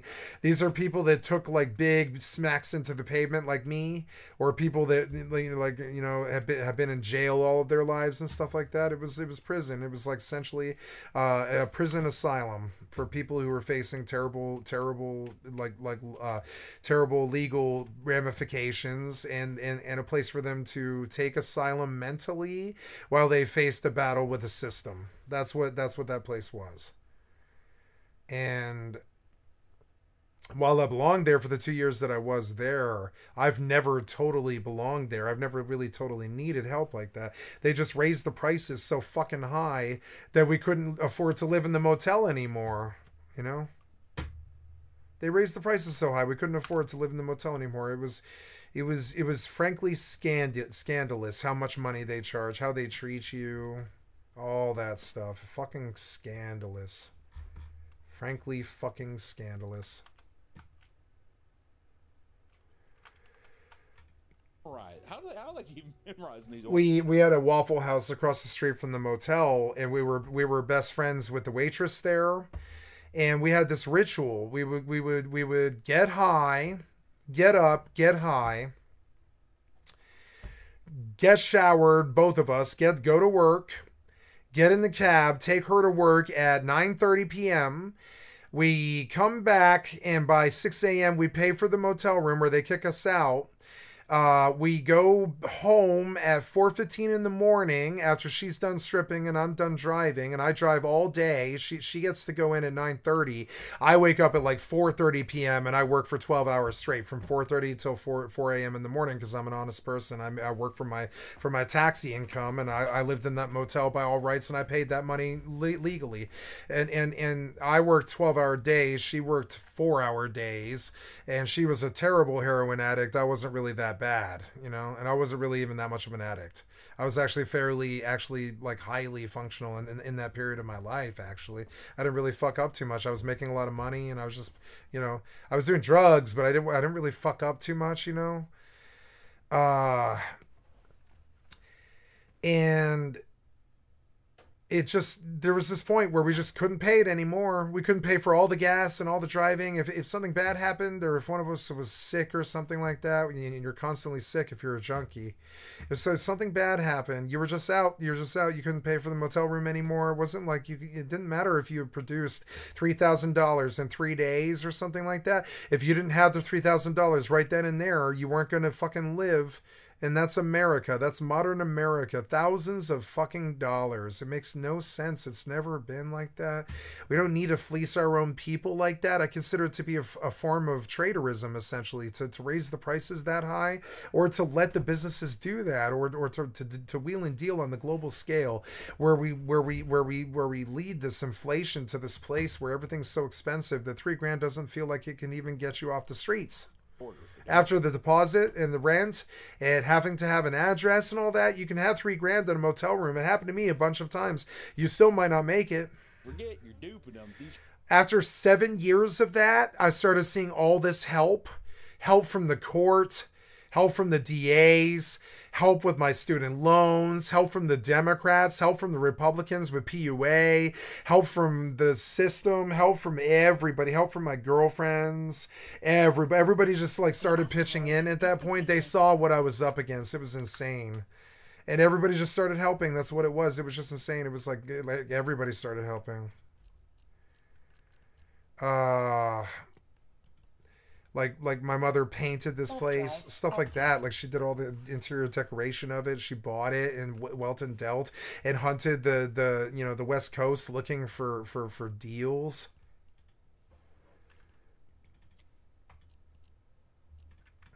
Like you know everybody helped me get off the streets. I would say everybody did all my friends and, and then i immediately turned their my back on them because i don't like you know and not not in some cold way. I just immediately went to work I just got here, went to work. First thing I did, I got here four days later. I was like, I've got internet, I've got power, I've got a television, I'm working.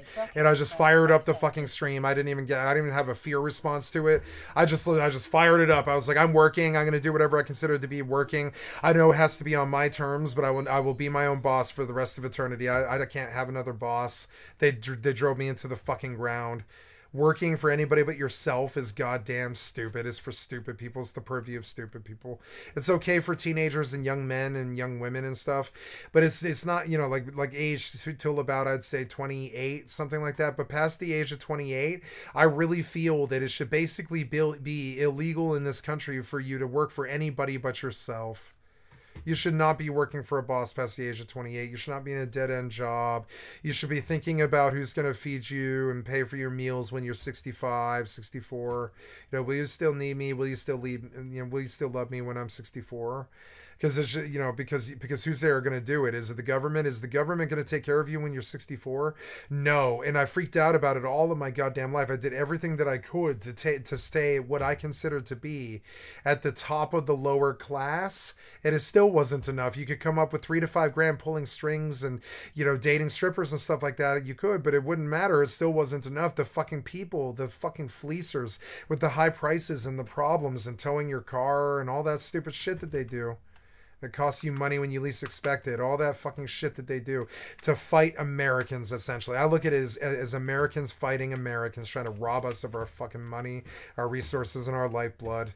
Our banks, our colleges, our politicians, our food, our water, our electricity, everything. All of it is just this huge fucking price fixing scam. Oil you know, motel rooms, all of it. And when America was affordable, we were booming. As long as America remained remained affordable, and you could get a goddamn inn for between 20, 40 and 60 bucks a night, and you could get like, you know, and you could you could maybe like maybe find new hope in a new place and, and gas was only maybe 225 or something like that as opposed to 450 or 3 375. It was okay, but I mean, you guys raised the prices so high that it killed our country. Fiscal conservatives have raised our prices so goddamn high to wheel and deal with their fucking lobbies and their businessmen and their fucking stock stock exchange and their Jordan Belforts and their fucking their their Bitcoin thieves that they they they just don't really understand how bad that was how how bad that greed was. It destroyed us.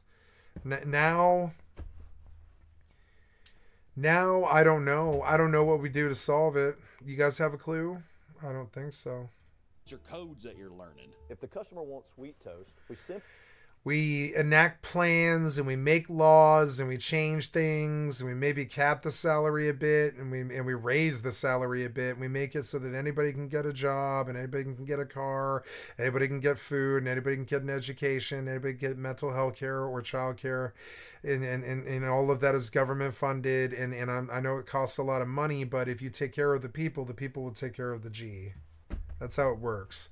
We know one solid thing about philanthropy when it comes to the poor who are actually struggling trying to get their way out of this mess is is every dollar that you spend they bring back to the economy like 2 or 3 years later they bring back to the economy tenfold. That's something about philanthropy that, that they never talk about. When you help the lower class, they, they literally boom the country's income like 10 times in two or three years. We know it because every time they actually give out welfare, everybody gets well, it gets better again Like everybody gets better again, and then and as soon as something, as soon as the, like they can't get jobs anymore, they go back on welfare. They get better again. It's this endless fucking cycle, but it's true. It does work. To indicate wheat. Let's see if what we have. Like the, I mean, they, they stay on welfare if they can't get a job, which is the current problem. But it wasn't like that till 1990s, 1999 maybe. It wasn't a bad job, market until 1999. That wasn't even that long ago. That was like 24 years ago. It's a long time, a quarter century, but in the human state of affairs, it's actually not that bad. Let's say that maybe the next quarter of, of a century, we don't have as much like terrible fucking grifting and thievery from our politicians and the corrupt people of this world and this country. I don't know how to enact laws to stop it, but I know that the money needs to go to the people first before the businessmen. The businessmen just stuff their banks with it. If we throw in a butter and a mustard pack. And they let it rot while we rot, while we die of the deprivation. Like I said to Beg on the other day my complaint with this country is the fiscal the fiscal conservatives. It's always been the same complaint. They think I want to I want to boil it down to some fucking woke culture thing and talk about this or that or their judgment or calling them a Nazi or something like that. No, no, I, I'm I just don't like fiscal conservatives. We have we we have a land of plenty, you know. we have a land of plenty. We really do. If we take care of the land, it'll it'll give us life for as long as we're here but we don't. And we don't and we, and we charge too much money for everything. It's insane. When did it be when did it become okay for americans to fleece americans with pricing? Isn't that essentially treason? One of the customers extremely attractive. When did it become okay for them to squelch free trade? you can indicate that with one of your buddies without having a sexual harassment lawsuit looming over you we're going to take two strips yep. of bacon two strips of bacon and a pound of honey. Ugh if the customer wants a slice of Texas toast, mark the eggs with a jelly pack and place a slice of Texas toast or a biscuit on the plate to remind you that they prefer to have Texas toast or a biscuit instead. So couldn't you? uh, no, no, and, and every but every business does this too. They have this this stupid rule policy set that you have to memorize if you want to stay there, and that's how you keep a job. You just have to memorize their stupid bullshit that they want, and then make sure you do it perfectly over and over and over again. And then you understand that you're a cog in the machine that will never be out of the machine until you start working for yourself. Honestly, all the time I think about going back to work for myself. If if if if like the stream i don't require it to make money but i do have a family to take care of on a very meager fucking disability you know income and I don't know what to do about that, and I can't go back to work. I'm, I can't take another boss. So all the time I think about what can I do. I made an investment in Nvidia this year. You know, I don't know. I, like I'm just like, what can I do? What can I do? Why not just put the white? You guys have choked up everything, every avenue it seems like unless you're hustling drugs on the fucking street or some shit or selling blowjobs, what the fuck can you actually do? What can you do? What can you do to get money in this culture? It's actually insane. You can't. You'd have to rob a bank or something like that. You can't actually. You have to sit up and wait for months while paychecks slowly trickle in to reach some kind of crazy amount like three grand. It is still not enough to pay last month's, first month's, and deposit even after working for like a year and, and where did like where did you live while you were doing that the problem with the rent is is it actually breaks our reality sort of. Where did you live while you were working to pay the money to to, to oh, sorry to earn the money to pay rent? Where did you live while you earn the money to pay rent?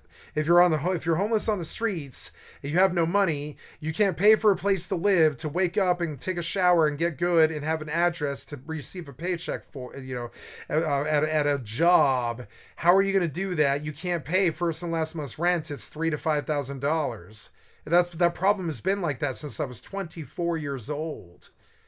You know, it's been 17 years or 18, 19, 20 years, something like that. bread. Like, why not put the wheat or the like raisin bran? Why does a Welch You know, like I don't know. grape pack have to? I don't know. I don't have the solutions to it, but I know that it's been bad, and I, I don't know why it's okay for Americans to treat Americans like this. You can, I consider both parties kind of traitors. It feels like they, the, the, the soup line was their version of World War Three. Indicate fucking the eggs. Some folks like to have their toast unbuttered or dry. In this case, we have a special mark to remind us to hold the butter. Easily enough, it's a butter packet underneath the jelly packet like this. Like putting a butter under the jelly means no butter. Putting a butter under the jelly means no butter. And this is old waiter etiquette too, which that is observed all over the world too. There's there's waiter code.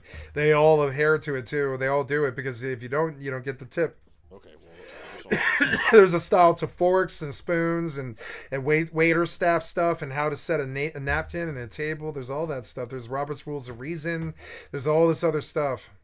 That There's like a, there's etiquette and and literally it has been boiled down to a science that one could call a, a law that in a proper well civilized place you could expect.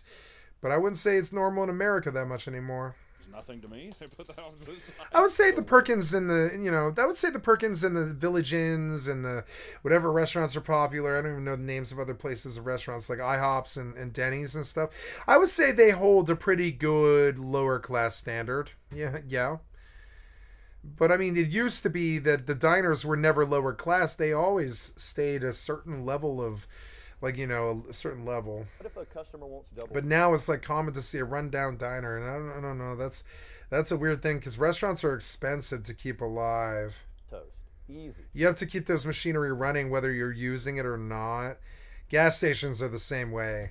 Like you have to use all that stuff whether you're, you're using it or not, and that's expensive. And, and so if nobody comes in to buy from your crappy restaurant, you're really in the hole because not only did you not make any money, it's incredibly expensive to keep a staff running and and all this stuff. And, and and they say that one of the worst problems in America right now is zombie companies, which is this concept that like you make a company designed to not really go anywhere. It's not that you designed it to fail. You're you're actually really happy and you make a swing and you try to, to do a successful company and you get you get you know you get loans and stuff, but you're not sad or fucked up if you don't make it because you, you can just declare bankruptcy and you lived for you know five to ten years on that loan that you got to run a company one could say that's the American dream now is to get a loan from the G for a company, you know, or the bank uh, to run to make a company, and then you fail at making the company, and you get to copy, you, you get to keep the proceeds, and then declare I declare bankruptcy like Michael fucking Scott,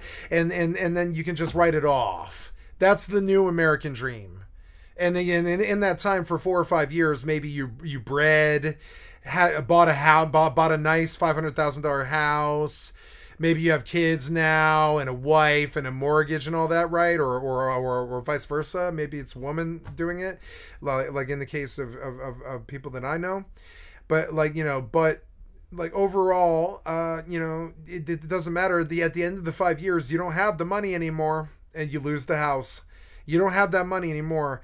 It's it sucks. It, it sucks to live in this bleak reality where money doesn't mean anything in America. It's ridiculous. We are not poor.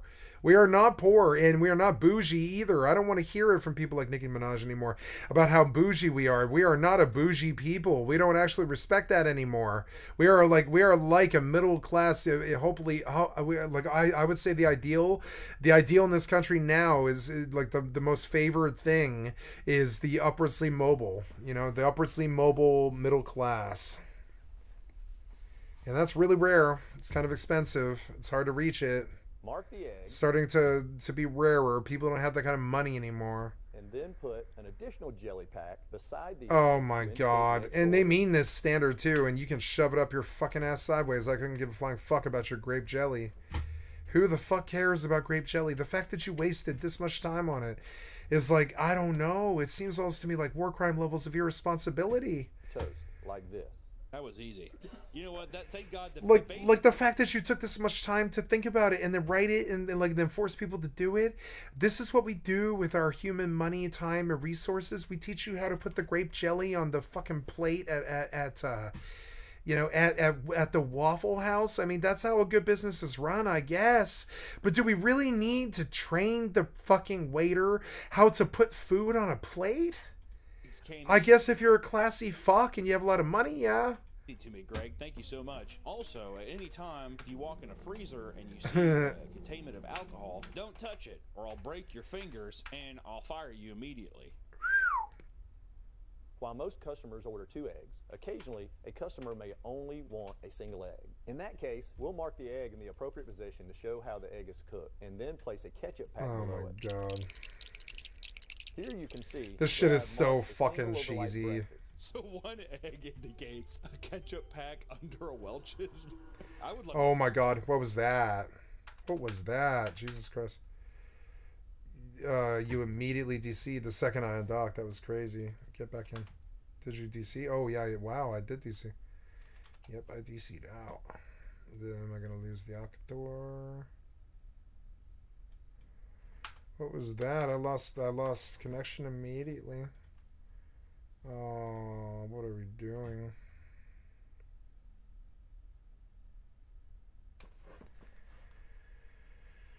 Oh my god, what are we doing here?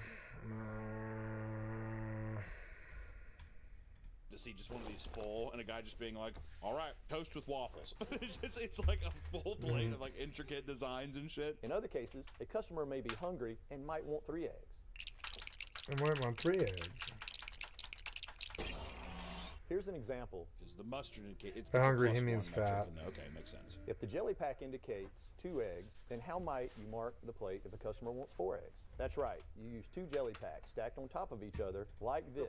I like how he said that's right. It's just someone's like, "Do you stack the the the, the Welch's jam That's packs right. together?" He's like, "Of course you do." So it makes sense. You're catching on quick. Also, you put it in the center. You need to put it at the center of the plate to make sure that they know that's four. Because if you put it on the bottom, that means that there's an active in the Waffle House. in a small place like Waffle House, they would be like, "There's an active in here." Guys like, mm. Oh, my connection died. Oh, there you are. You're back. Okay, get back in before I lose the Sakator, please. Yeah, that's okay. Connect now. Did you disconnect again? Damn it. Get back in. Connecting. I'm an adventure. Look at it, like beat timed out. That's good. I'm not in the Akator at least. Wow, that was a fast load. The back and forth What? between No, no, Penguin no, no, Zero no, and no, Sneako no. will What go down here? as one of the most eh, controversial and no. intense beefs in internet. No, no. Customers order two eggs. Occasionally, a customer may only want a single egg. In that case, Only we'll want mark a the single egg in the appropriate position to show how the egg is cooked, and then place a ketchup pack below it. Here you can see that I have marked a single overnight breakfast. So one egg indicates a ketchup. One pack indicate under indicates. Welch's. I would love to see just one of these full and a guy just being like, "All right, toast with waffles." it's just it's like a full plate of like Hmm. intricate designs and shit. In other cases, a customer may be hungry and might want three eggs. Here's an example. Is the mustard indicate it, it's a plus one metric in the okay, makes sense. If the jelly pack indicates two eggs, then how might you mark the plate if a customer wants four eggs? That's right. You use two jelly packs stacked on top of each other like this. I like how he said that's right. It's just someone's like, you stack the the gr- the, the Welch's jam packs together?" He's like, "Of course you do." So of course you do. Also, you put it in the center. You need to put it at the center of the plate to make sure that they know that it's four. Because if you put it on the bottom, that means that there's an active shooter in the Waffle House. in a small place like Waffle House, they would be like, "There's an active in here." Guys like, like dresses it up, and he's like, "Karen." One of the most popular ways to have eggs at the Waffle House is scrambled. So let's talk about different ways to mark scrambled eggs. I love Greg's smile, dude. Greg kills me with a smile. Let's talk about different ways to mark scrambled eggs. So let's say your wife's divorcing you. You're trying to hide some of the assets so you don't have to pay as much in alimony. Well, how would you mark that down so she can't hear you while you're talking with your lawyer? Let's grab two packs of ketchup and a bottle of Tabasco sauce and figure it out.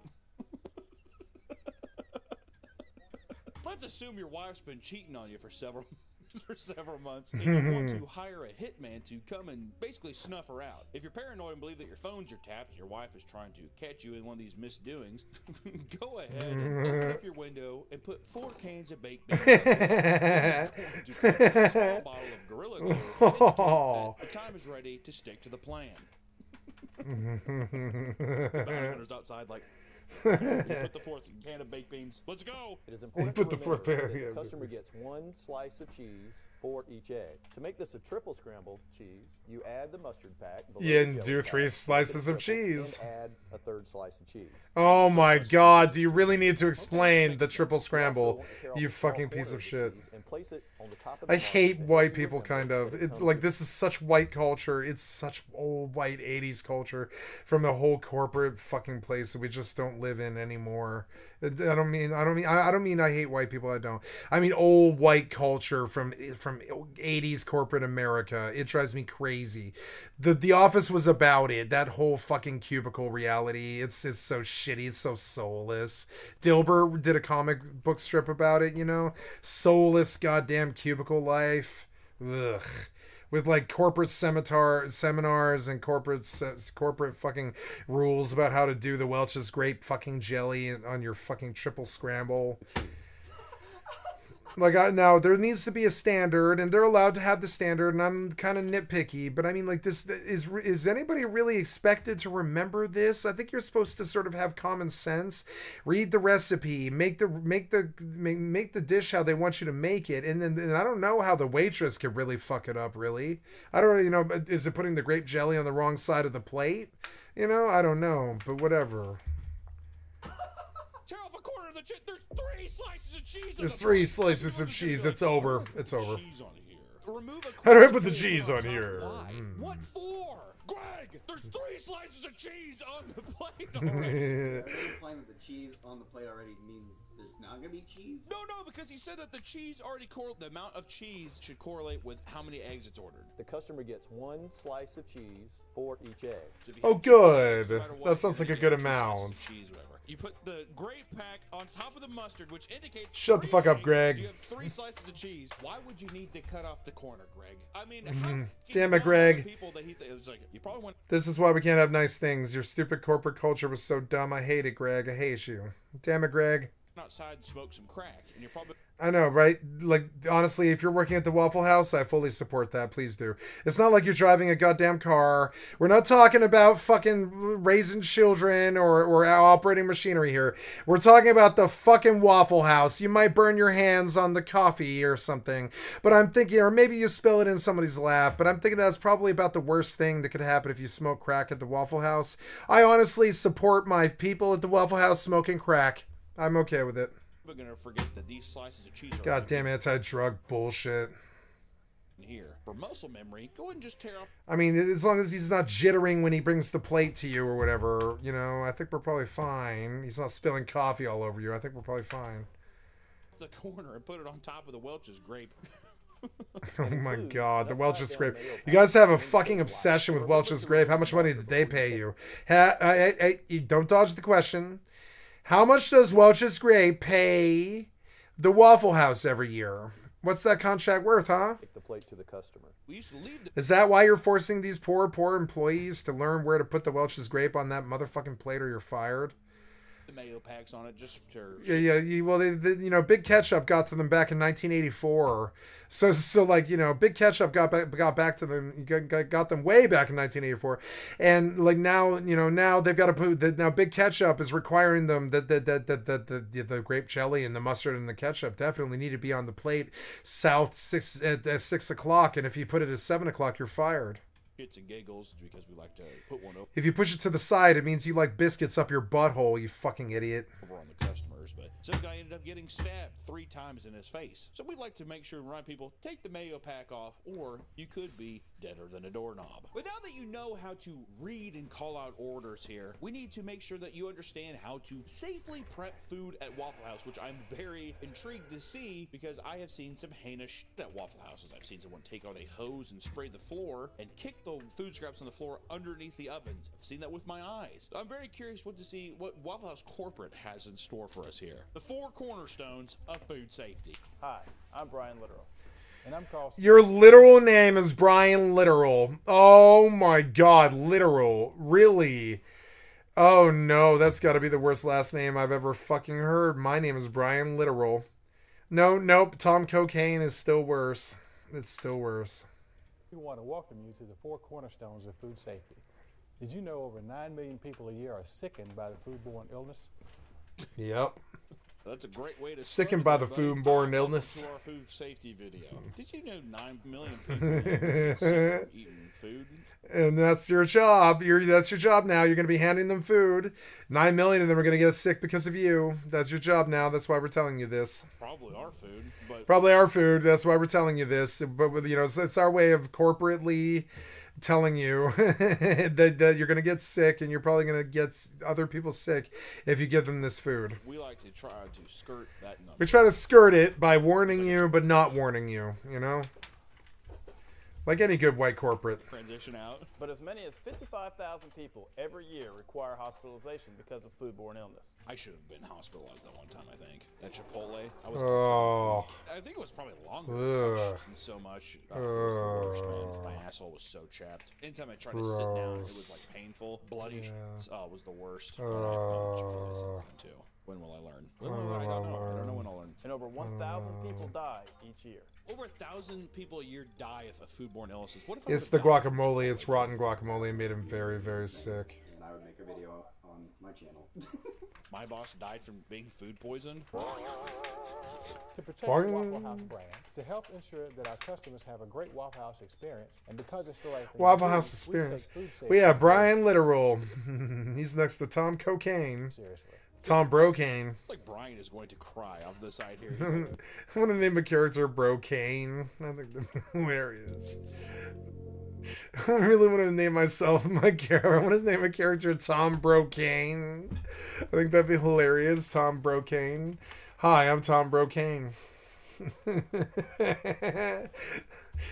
Name- my name's Tom. What's up? I'm Tom Brocane. Brian's getting flashbacks to people like throwing up and having heart attacks at his restaurant. He's like, we take Okay. very seriously, sure. Honestly, how many times a day do you think at a Waffle House does someone like drop something on the floor and they like look around and they like put it back on the plate?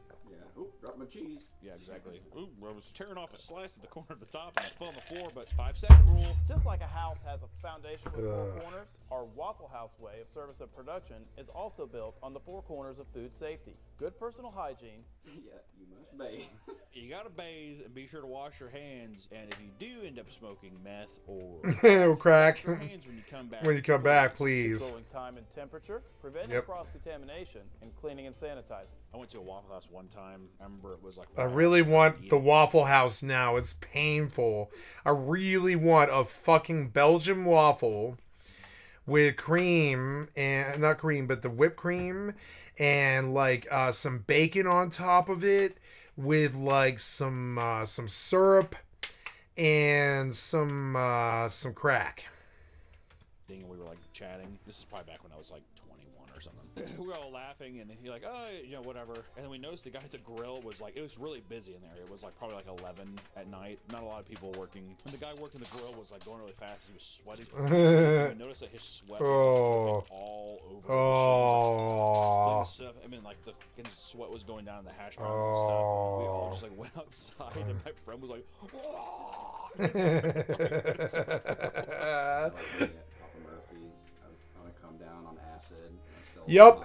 Can't do food on acid. Can't do it. Writing over the pizzas. Yep. Training new oh. Did Oh. you still wrap them up and sell them? Yeah. Ew, you sick.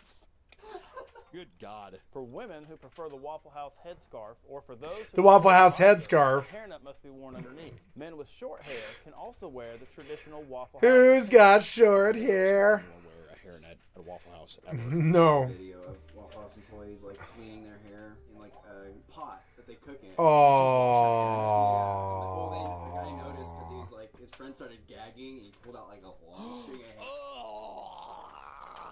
This table isn't ready yet to seat the next customer. That's humans for you. Sanitized. The amount of times I've sat at a dirty table at Waffle House because they just haven't come and gotten the plates have always been funny. Like, let me clear that out for you. And they like grab the shit and they just like wipe it once, like, what do you want? Can I get a Sprite? Yeah. like, walk off. I'm like, we're in for a beautiful ride, aren't we? I hope you've enjoyed our presentation on the four cornerstones of food safety. Food safety is an important part of a great customer experience. Listen, I, I have never worked at a Waffle House, but I can tell you that I have not seen any of those displays. It seems like it's a little, little grody, if I'm being honest. We know how to receive orders, we know how to cook them safely and cleanly. Now, let's prepare ourselves to deal with the clientele that comes in. You know, you're not going to get the most favorable clientele, but you have to deal with them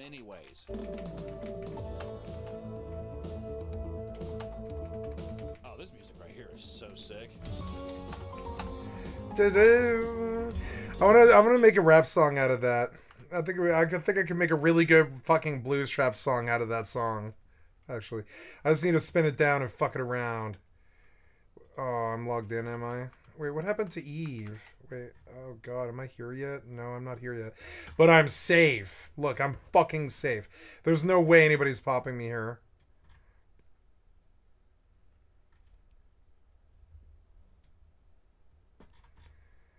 I'm totally safe. I figured out how to do this better, and I'm gonna I'm gonna bank the 60 mil, and I'm not gonna lose it. Made so much money today. Waffle feel like a very magical place. Also, the older God damn it! I want a wa- waffle. I want a Belgian waffle with some kind of specialty thing like bacon and uh, I don't know, ranch or something. Bacon and ranch Belgian waffle.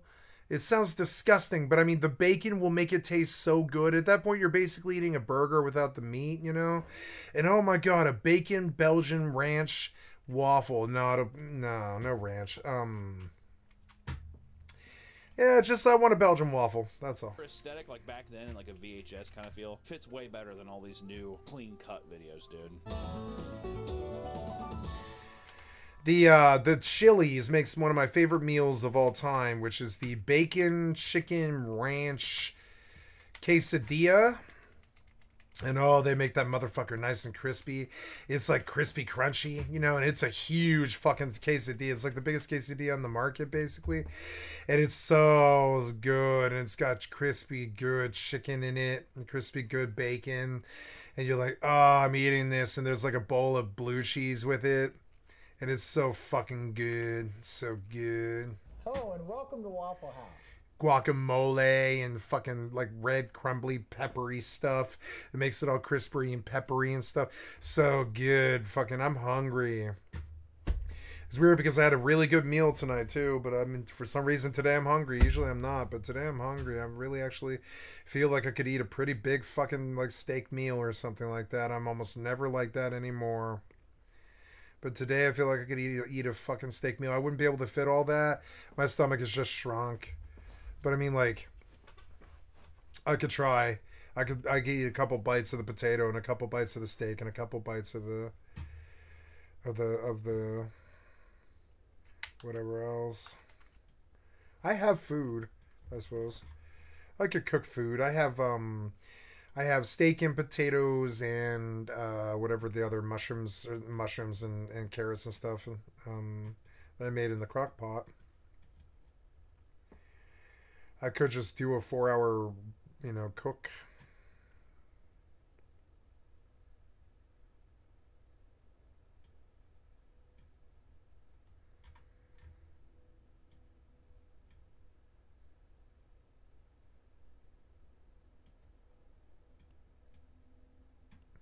This took a long time at 37.5. Wasn't it going faster than this?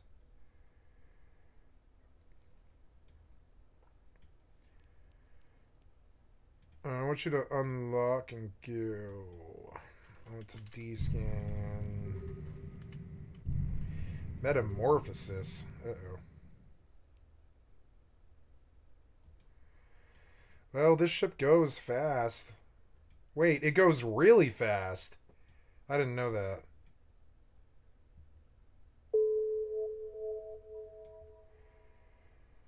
Cluster shutdown, 108. I'm going 600 ms. Nice.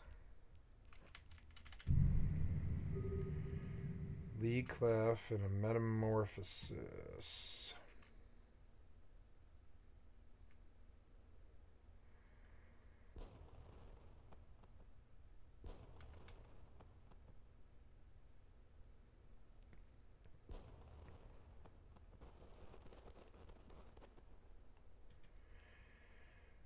Okay, I'm going to stealth up. Just in case somebody pops through. Got a nice little, good little 40 km there burst. And I'm slowly spinning down, but I am getting some progress here. I'm learning how to like kind of half stealth my way to my target. Got significant um, progress there. I'm only 59 km. Uh, the fireworks are annoying, but I need fire crystals. So three, six, I need two more. This was all my money, but that's alright. It was incidental fire crystal money anyway. Damn it, Greg. And welcome to the position we I really hate you, Greg. Why do you sound so soft when you talk? Adore Core. It's so crazy to me that like instead of just being like as a manager you have to orientate people, they're like just play the fucking video. Have them sit down and play the video. They'll be fine. You're just like sitting in the back. Welcome to the Door Corps. If you're energetic, a team player who possesses that ability to think on your feet, In all your life, people have always said that you're the friendliest person they've ever met, and that you really know how to make people feel at home, then you're our kind of person. What if there's a guy who's like, no one has ever said that to me? Also, Oops. I'm supposed to think on my feet. Am I answering a door and saying hello to people? Uh, goodbye, hello. Oh, which one was it? Uh, sit anywhere you like. Oh, God. Being a team member in a door Corps is more than just a smile and a quick hello. As you'll see in this video, I'm at 85 again already. A smooth talker, an Olympic sprinter, and an entertainer. There's like a one-leg disabled guy. He's like, I don't think I have what it takes to fill this position. I think a professional appearance is vital at the door. I'm talking about neat, clean, well-groomed, enthusiastic, great attitude. After all, I am the first impression of Waffle House a customer gets. they had to have gotten rid of this position. I have never been into a Waffle House where someone is like, that's their job, is to be like, oh, come on in. Never seen that. Hello, welcome to Waffle House. How are y'all doing today? Hello, welcome to Costco. I love you. Just a minute before your table's ready. So why don't you help yourself to a cup of coffee over to the coffee bar? Thank you. Oh man, you're straight from the savannah, huh? That's some Georgia up in there.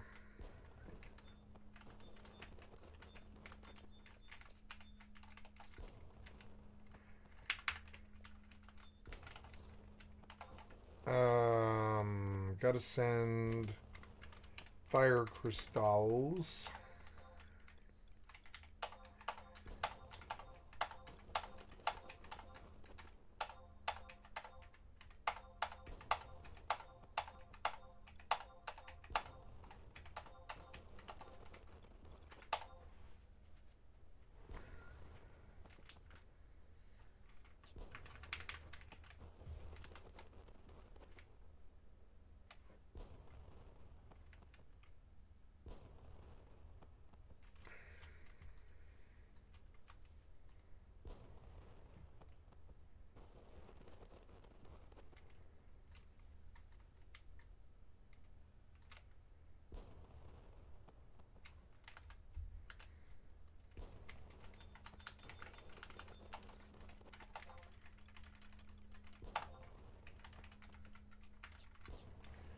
Did I send all of them?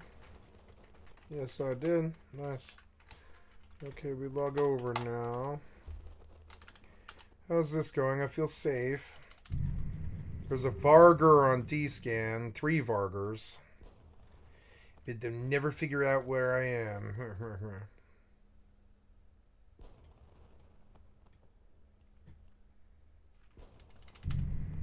They've jumped through. There's still the metamorphosis.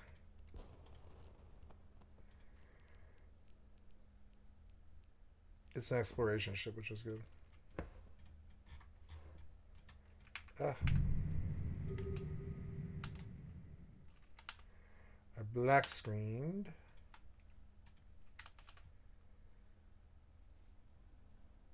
Now, um, I wish to.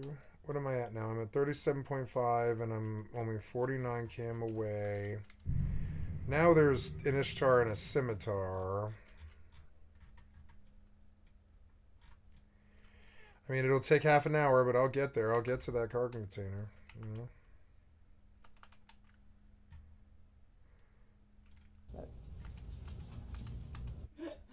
Because like behind him, there's a sea of open tables. Your table's not ready yet. Why don't you go ahead and help yourself to some coffee over the coffee bar? I'd be like, Nah, just stand.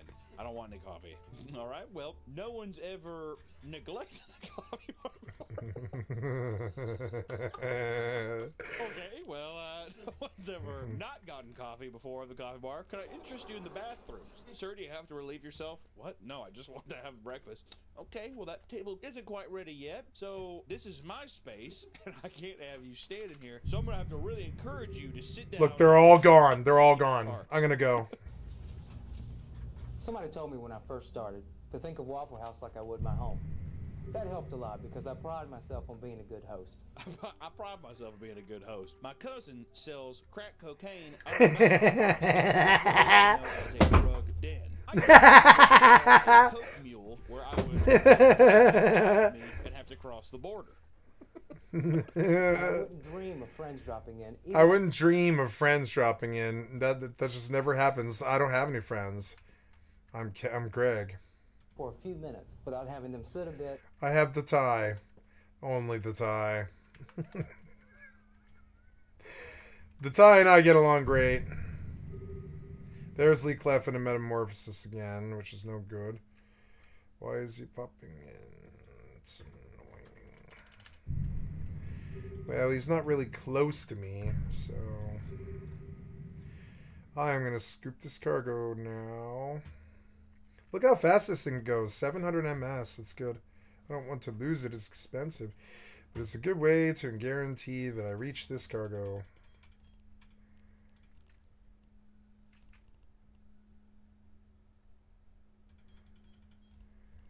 Open, open, open. There, take you, fleet hangar. Go, go. Did you do it? No. Wait, did you do it? Approach, damn it. No, the overview, damn it, the overview. Yes, you did it. Okay, good, go.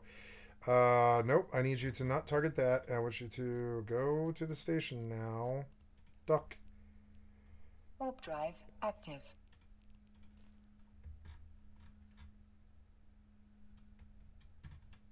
Wow, that was a really fast fucking warp, actually, the way I did it.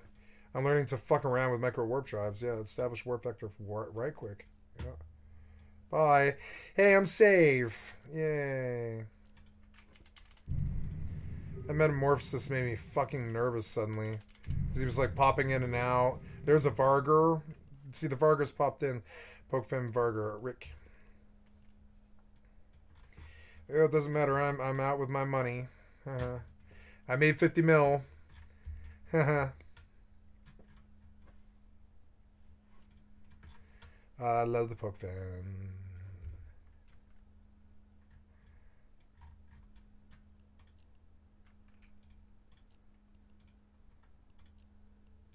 Docking permission requested. Docking Oh request yeah, made the money. Golem, Vargur, Monitor.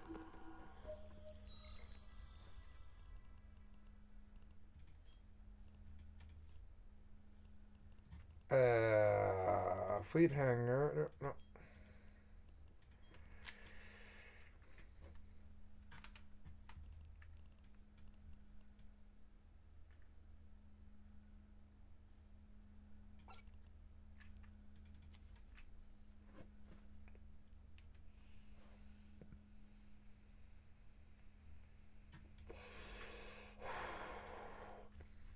Well, I'm making some money now. 343 million in here. Not bad. For solo doing nothing, it's really good.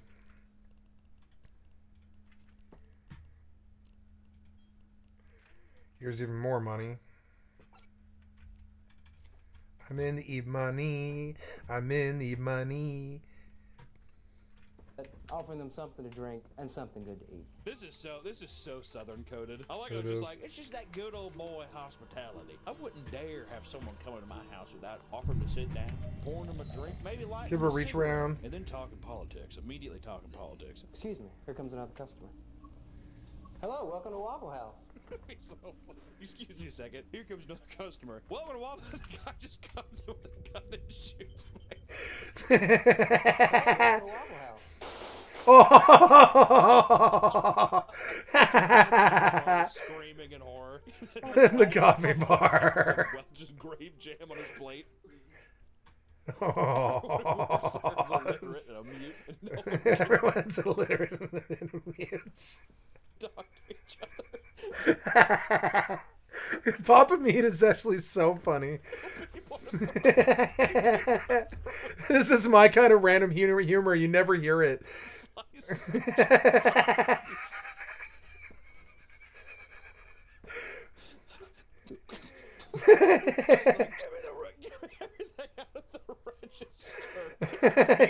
out of the register. Go back and get a piece of Texas toast on the cash register. They need to have a training video on how to, Because there's an armed robbery. are disrupting the These poor bastards only know how to communicate scrambled eggs and fucking steak. They're gonna be so when someone comes in. So let's say somebody comes in with a 12 gauge shotgun. It'll be just a minute before your table's ready, so if you'd like a cup of coffee, help yourself over at the coffee bar. Thank you. Thank hey, you. um, Brad, we're really gonna have to have you stop sitting. We're gonna have to talk the about coffee this. bar, okay? Because we only have regular black coffee and decaf. When there's 20 people over there and only three of them want coffee, it makes it very congested. He's like, Stephanie, I'm gonna do my job the way that I was taught to do it, and you need to focus on yourself. So why don't you and the other illiterates start stacking? Someone else was standing there all day. They open the door for you. The other illiterates. Hospitality. It's like, hey, come Oh. But to me, I'm like, I don't want to be pressured immediately. I just want to like, I almost prefer when I walk into a place and they're like, hey, just take a seat wherever you want. I prefer that. I don't like the idea of a guy forcing me to go to the coffee bar because I'm also I'm a sheep too. So the guy's like, we're not ready for you yet, and you will have a cup of coffee at the coffee bar. I'm not even a big coffee guy, but I'd probably be like, oh, okay. I just sit down. I guess can I have a coffee? God, all these fits are great too, dude. This is definitely a '90s video. It has to be. It's your job to convince each and every customer that it's a short wait, maybe just a cup of coffee away, and speed up the whole process by having them know what item on the menu they want by the time they're seated. like how the coffee bar is them sitting in two small chairs by the window. So go ahead and sit over here awkwardly and look at our menu. It's like, what else do they have besides scrambled eggs and bacon and toast? You're gonna really want to peruse around and navigate your way through this complex but delicious menu. Keep your eye on that door. No matter how many You always have to customers keep your eye on that door. want I've gone through five axes already. Goddamn. Tommy, we've been closed for two hours, man. We gotta leave.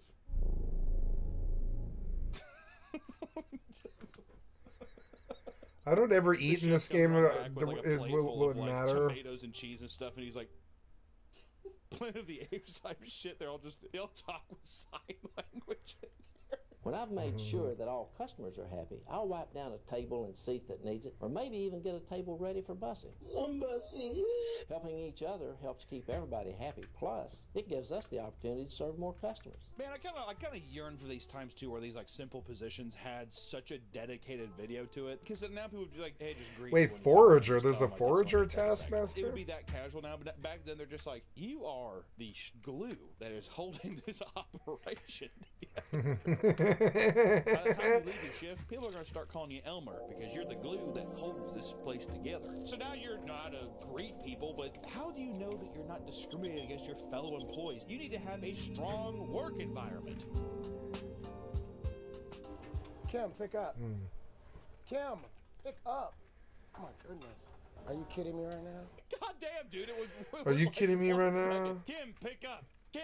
Now! God, he's like, starts complaining. The girl, like the woman's already walking over, like, dude, I was grabbing it. God damn. I don't know if she can't hear me. She's ignoring me. She's a dumb. Shit, I'm gonna slap her around. I'm gonna hit her. I'm gonna hit her. Kim, look how slow she's like. Oh my goodness, my hip. Oh, that when's dirt. my birthday? Oh, I can't see you. Oh, look how slow she's walking. Ah, my hip. I'm old. I'm so fucking old. Fuck you, Kim. I wish they wouldn't talk about me like that. the lighting they have too. It's like a song. Oh. It's like he's dead. I wish they wouldn't talk about me like that. Well, guess what, you old rickety. You're wasting space. Just die already. Even though I'm older than them, I can still do my job. You can't. You're a waste of space. You're a waste of life, old prick. You Oh. Just die. You're a burden on your family. You know those people who, when you're like, "Oh, I hope they come visit me," it's a it's a burden every time they have to do it. The kids don't want to come. All the smiles you see when they visit you, they're fake. They're all fake because we want to make sure that grandma feels good in her later years. Just roll over. Ishtar, Ishtar, Ishtar, Scimitar, Scimitar. Oh, hey, man. Hey, Danny, take a look at this. Someone like you would appreciate it. I don't think that's funny. Are they playing like? don't think the- that's funny. Music in the back. I don't think it's funny. Come on, man. What? You're Mexican. You must love this music. Oh, come on. I thought you people had a sense of humor. Don't take it seriously. You people. Well, you people don't have a sense of humor, dude. God, you're such a wet blanket, Diego. Jesus. Video clips or telling jokes that make fun of a person's race or national origin is unacceptable behavior at Waffle House. Here at Waffle House. But not outside, out back after the shift. Age, sex, or religion, you have to do what we call the gridiron system, where we If you plant your hand in a waffle maker for 4.5 Mm. seconds and brand you as a piece of shit, but you earn your spot back to work here. That'd actually be kind of sick. You have to put it in there, and it's like you're marked, but it's like, well, you paid your due, so all is fair now. I think there's like a three mark system. Yeah, they mark both your hands, and then the last one is they they fucking the uh, spatula. It's all hot. They get it red hot, and they put it in between your mouth like that, and they give you like a Joker smile. Oh. Hey, what's up with James and the beard? They told me. What's up with James and the beard, bitch? I don't know why I get such special treatment. I think it's because he's a Sikh. I don't like those people. Me neither. What? Oh my god, that was racist. I don't know. That's because he's a Sikh. What? Y'all don't like those people. I wish I could grow out my beard so I could get some see here at Waffle House. People, I look a lot better with a beard. I hate working with Gary. He takes so many breaks. Yeah, I think he's got like diabetes or something like that, but that's a likely excuse if you ask me. Fuck your diabetes. Fat fucking, I don't know. His like blood sugar's all wacko. I fucking hate that fat piece of shit. Gary, man, why do you take so many breaks when we work? I just have to check my blood sugar. Why? What's wrong? You taking so many breaks means we have to cover for you. My Wait, wait, diabetes is wait. my business. If I have to take a few extra breaks, I don't see what the My diabetes is my Honestly, business. I, I'd get on the diabetes hate train. Dude, if your fucking diabetes is acting up that much, why don't you go work somewhere else, dude? like fighting in here and stuff. Uh, I gotta check my blood levels. I'll be like, I'd be like, get the fuck out of here, then, dude. I work just as hard as everybody else. I work just as hard as everybody else for a fraction of the time. I love all these scenarios. It'd be so fun to act in one of these. It'd be fun to come up with one too. What does it say? Yeah, what if there was a guy like this Indian dude with a beard and the other guys are jealous of him? They're like, perfect, write that down. Yeah, what if a guy has like diabetes and everyone's Ishtar, pissed that Ishtar, Ishtar, work? Yeah, I Scimitar. Yeah, go ahead and put that in there too. I like to think that all these people are just like, yeah, I hate that. You put that one in there. I'd like someone like us to cook my food for me. I don't want him touching any of my food. I want him to do Uh-uh. it. Sir, I'm sorry. Bo's the grill operator this morning, and he will be cooking your food. If that's not okay with you, I'm gonna have to ask you to eat somewhere else. I feel like a more appropriate response you could just be like, what are you talking about? What fucking year do you think this is? You know, like, I'd be like, dude, go f yourself. Leave. Well, I, well yeah, hey, get out of here. I mean, how uh, obnoxious is that? I just want to see customer discrimination real quick. It's the same scenario as just customers. yeah. Yeah, why the hell does that guy keep going to the bathroom? I have to, dude, I have to check my blood levels. Wow, I've been here like five minutes. Are you kidding me? No one's even come over to greet me. I know they see me. Wow, I've been here five minutes. No one's even greeted me? Okay, well, I guess I'll just sit here forever then. What you just saw shows how a customer can feel like he was discriminated against. Waffle House does not discriminate against any customer for any reason. I definitely feel like Corey looks like the kind of guy to discriminate against somebody. If I'm being a Corey's just like, what you see here is a lie. that is a liar, folks. we don't ever discriminate. That's just the end of the video. Oh, excuse me. I- Hi, is everything okay with the food? Oh yeah, thank you. Can I get some more Diet Coke, please?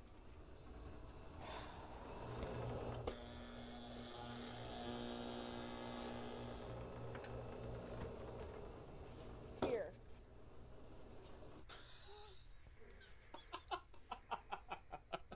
I will let you know right now, I have gotten that treatment before. Never taken it personally. Uh, not that I think it's acceptable, but I think it's funny when it's like uh, if a Waffle House person said here and they slammed it, I'd be like, what a bitch. But at the same time, I'd be like, eh, I mean, they probably have they're probably a pretty long day up here if I'm being honest. These eggs are running. Can they be cooked again? And my waffle is burnt. Can I get a new one? Yes, we have to cook these again. People like that get on my nerves. All they want is free food, and they are so rude. I wish they would just go eat somewhere else. This is Waffle House, not Taco House. Even for a training video. Looking right at him. This is Waffle House, not Taco House. Prende Senor. Muy bien. Hola. yeah, I'll cook your goddamn waffle again, you son of a bitch. And then last but not least, the most important of all these training videos is these harassment videos. Roll it. Hey Mike, hey, thanks for sending me this video. Dude, yeah, ain't it some wild stuff? Yeah, that's some pretty wild stuff, all right. What do you think that video was? What if it was cake farts? Bruce was sitting on cakes farting? That's some wild stuff, man. We should send this to somebody. Oh, hey, let's send it to Joanne. Dude, yes, get it. Dude, yes, get it. It's just Tourette's guy. It's a Tourette's guy compilation. that Badger song you sent me last night was so funny. This is horrible. Why would John send me something so disgusting? All right, it's definitely one man, one jar. I was gonna say mm. beheadings. Yeah, it's, it's beheading. Yo, how did they get the camera quality so good in those, huh? Hey, Becky, how's it going? I'm fine, thanks. God damn! God damn! Hey Becky, how you doing? Hey, hey, hey, how's it going? Can you excuse me, please? Excuse me. Mm-hmm. I definitely feel like this is something that they turn an eye to because I feel like I see this kind of shit all the time in restaurants. Multiple restaurants are just being like, "You playing? You acting up?" Mmm, you smell really good. What's that perfume you're wearing? Smells really sexy. Smells really sexy. Your perfume. It's Tag body spray. Yeah, no wonder you smell like a teenage boy. You know, I love looking at you. You're such a hot body. Let's go out sometime. What do you like to do? Sorry, but you're not my type. Aw, come on, gorgeous. Why don't you give me a try? What part of no don't you understand? Look, when I see something that I want, I usually don't stop until I get it. God damn, being that thirsty at a Waffle House at like 8 a.m. God damn, girl is down bad. She's going to Walmart afterwards, like Axe body spray. Tss. That's her. Mm, that's her. Oh shit. I wish Pam would stop hitting on me and just do her job. When I say no, I mean no. Damn it, I'm Pam. gonna have the actor in the background doing this the entire time. You're down that bad at your shift? Unwelcome sexual comments or advances to an associate in an unwelcome manner is forbidden. What if Mika was like, that was kind of hot? Two girls talking about Axe body spray and getting it on is kind of sexy. I mean, what's the big deal? I mean, can people not just get along? Cut it off. Cut the recording. Cut the recording. More of the story is Waffle House is an anomaly. It's a dangerous place. The amount of videos online of people fighting and doing all kinds of dangerous shit is appalling. But I will say it's a beacon of the American dream. active. Dare I say it's probably one of my favorite restaurants of all time. Nowhere else can you go someplace at three in the morning after a I'll be right back. being a little rowdy and getting, getting an entire meal that you can gorge yourself on for seven dollars. And to me, that feels pretty special. And I Seven dollars. It's like fifteen now, or I would, go, you know, or I would use it, or I would go patronize it more. But no, worthless, worthless dead restaurant now because it's fifteen bucks for worthless food. Not worthless, but you know, not too good. Docking permission requested. Docking request Not too good accepted. of a deal.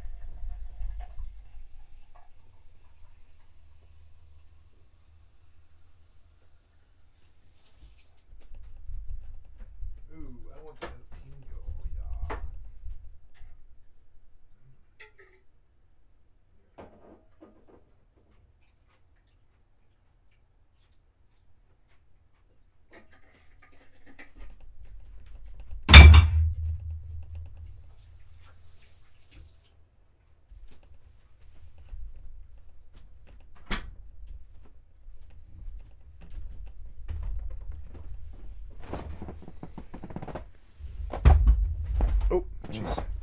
Open and disconnect this video.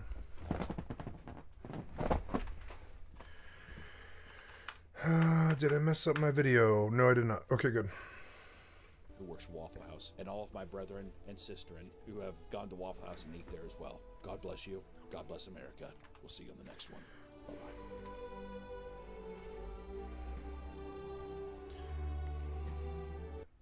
What's up, everybody? Thank you, Papa Meat, for the excellent content from my channel. I've liked and subbed to your channel. How you doing? How you doing? Come on in and sit on.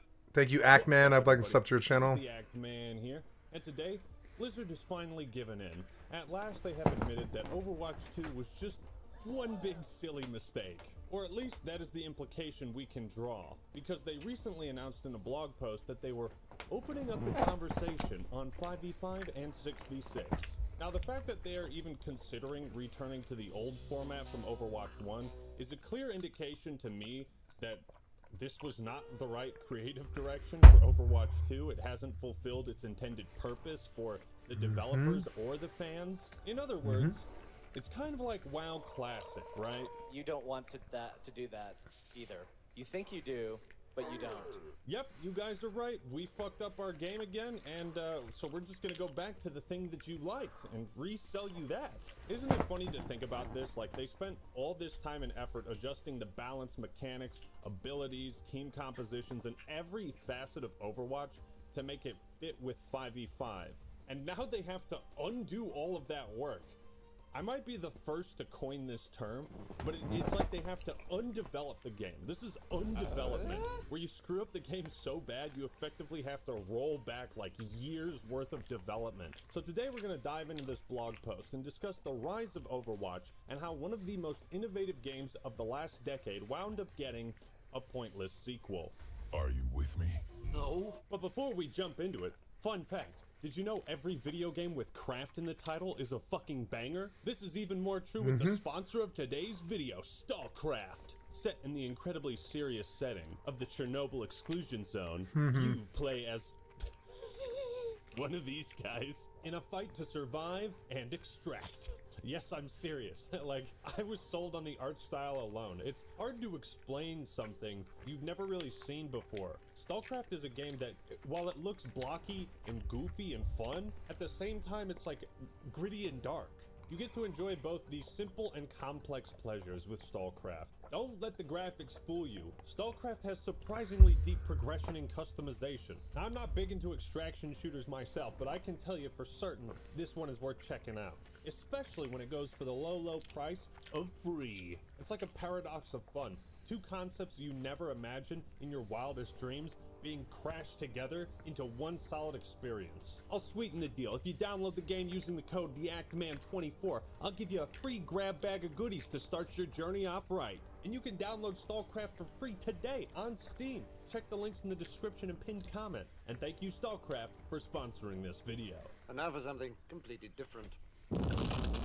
Now, first off, why the sudden decision to start shifting back to 6v6? While the hero shooter genre is seeing a bit of a resurgence with Marvel Rivals, you should check out my video on that. The game's fucking incredible. Highly recommend. Also, put a link in the description and pinned comment. Also, come join my public Hard nope. The Act Clan. It's awesome in there. But there's also Sony's Concord coming out in a few weeks. Valve is working on their own hero shooter. Concord? I think what? A few months Valve's got a shooter coming? Oh, TF3. This is TF3. He's stupid. He didn't- preemptively adapt TF3. For when these new hero shooters come out. It just so happens that Marvel Rivals started its closed beta period one day after Blizzard made this announcement, so it could very well be a coincidence, but as one trained in the Force. You know that true coincidence. You're a muggle. Now, I'm certainly one of many who jumped ship or lost interest in Overwatch after 2 came out. Only muggles talk like you. To fill that void.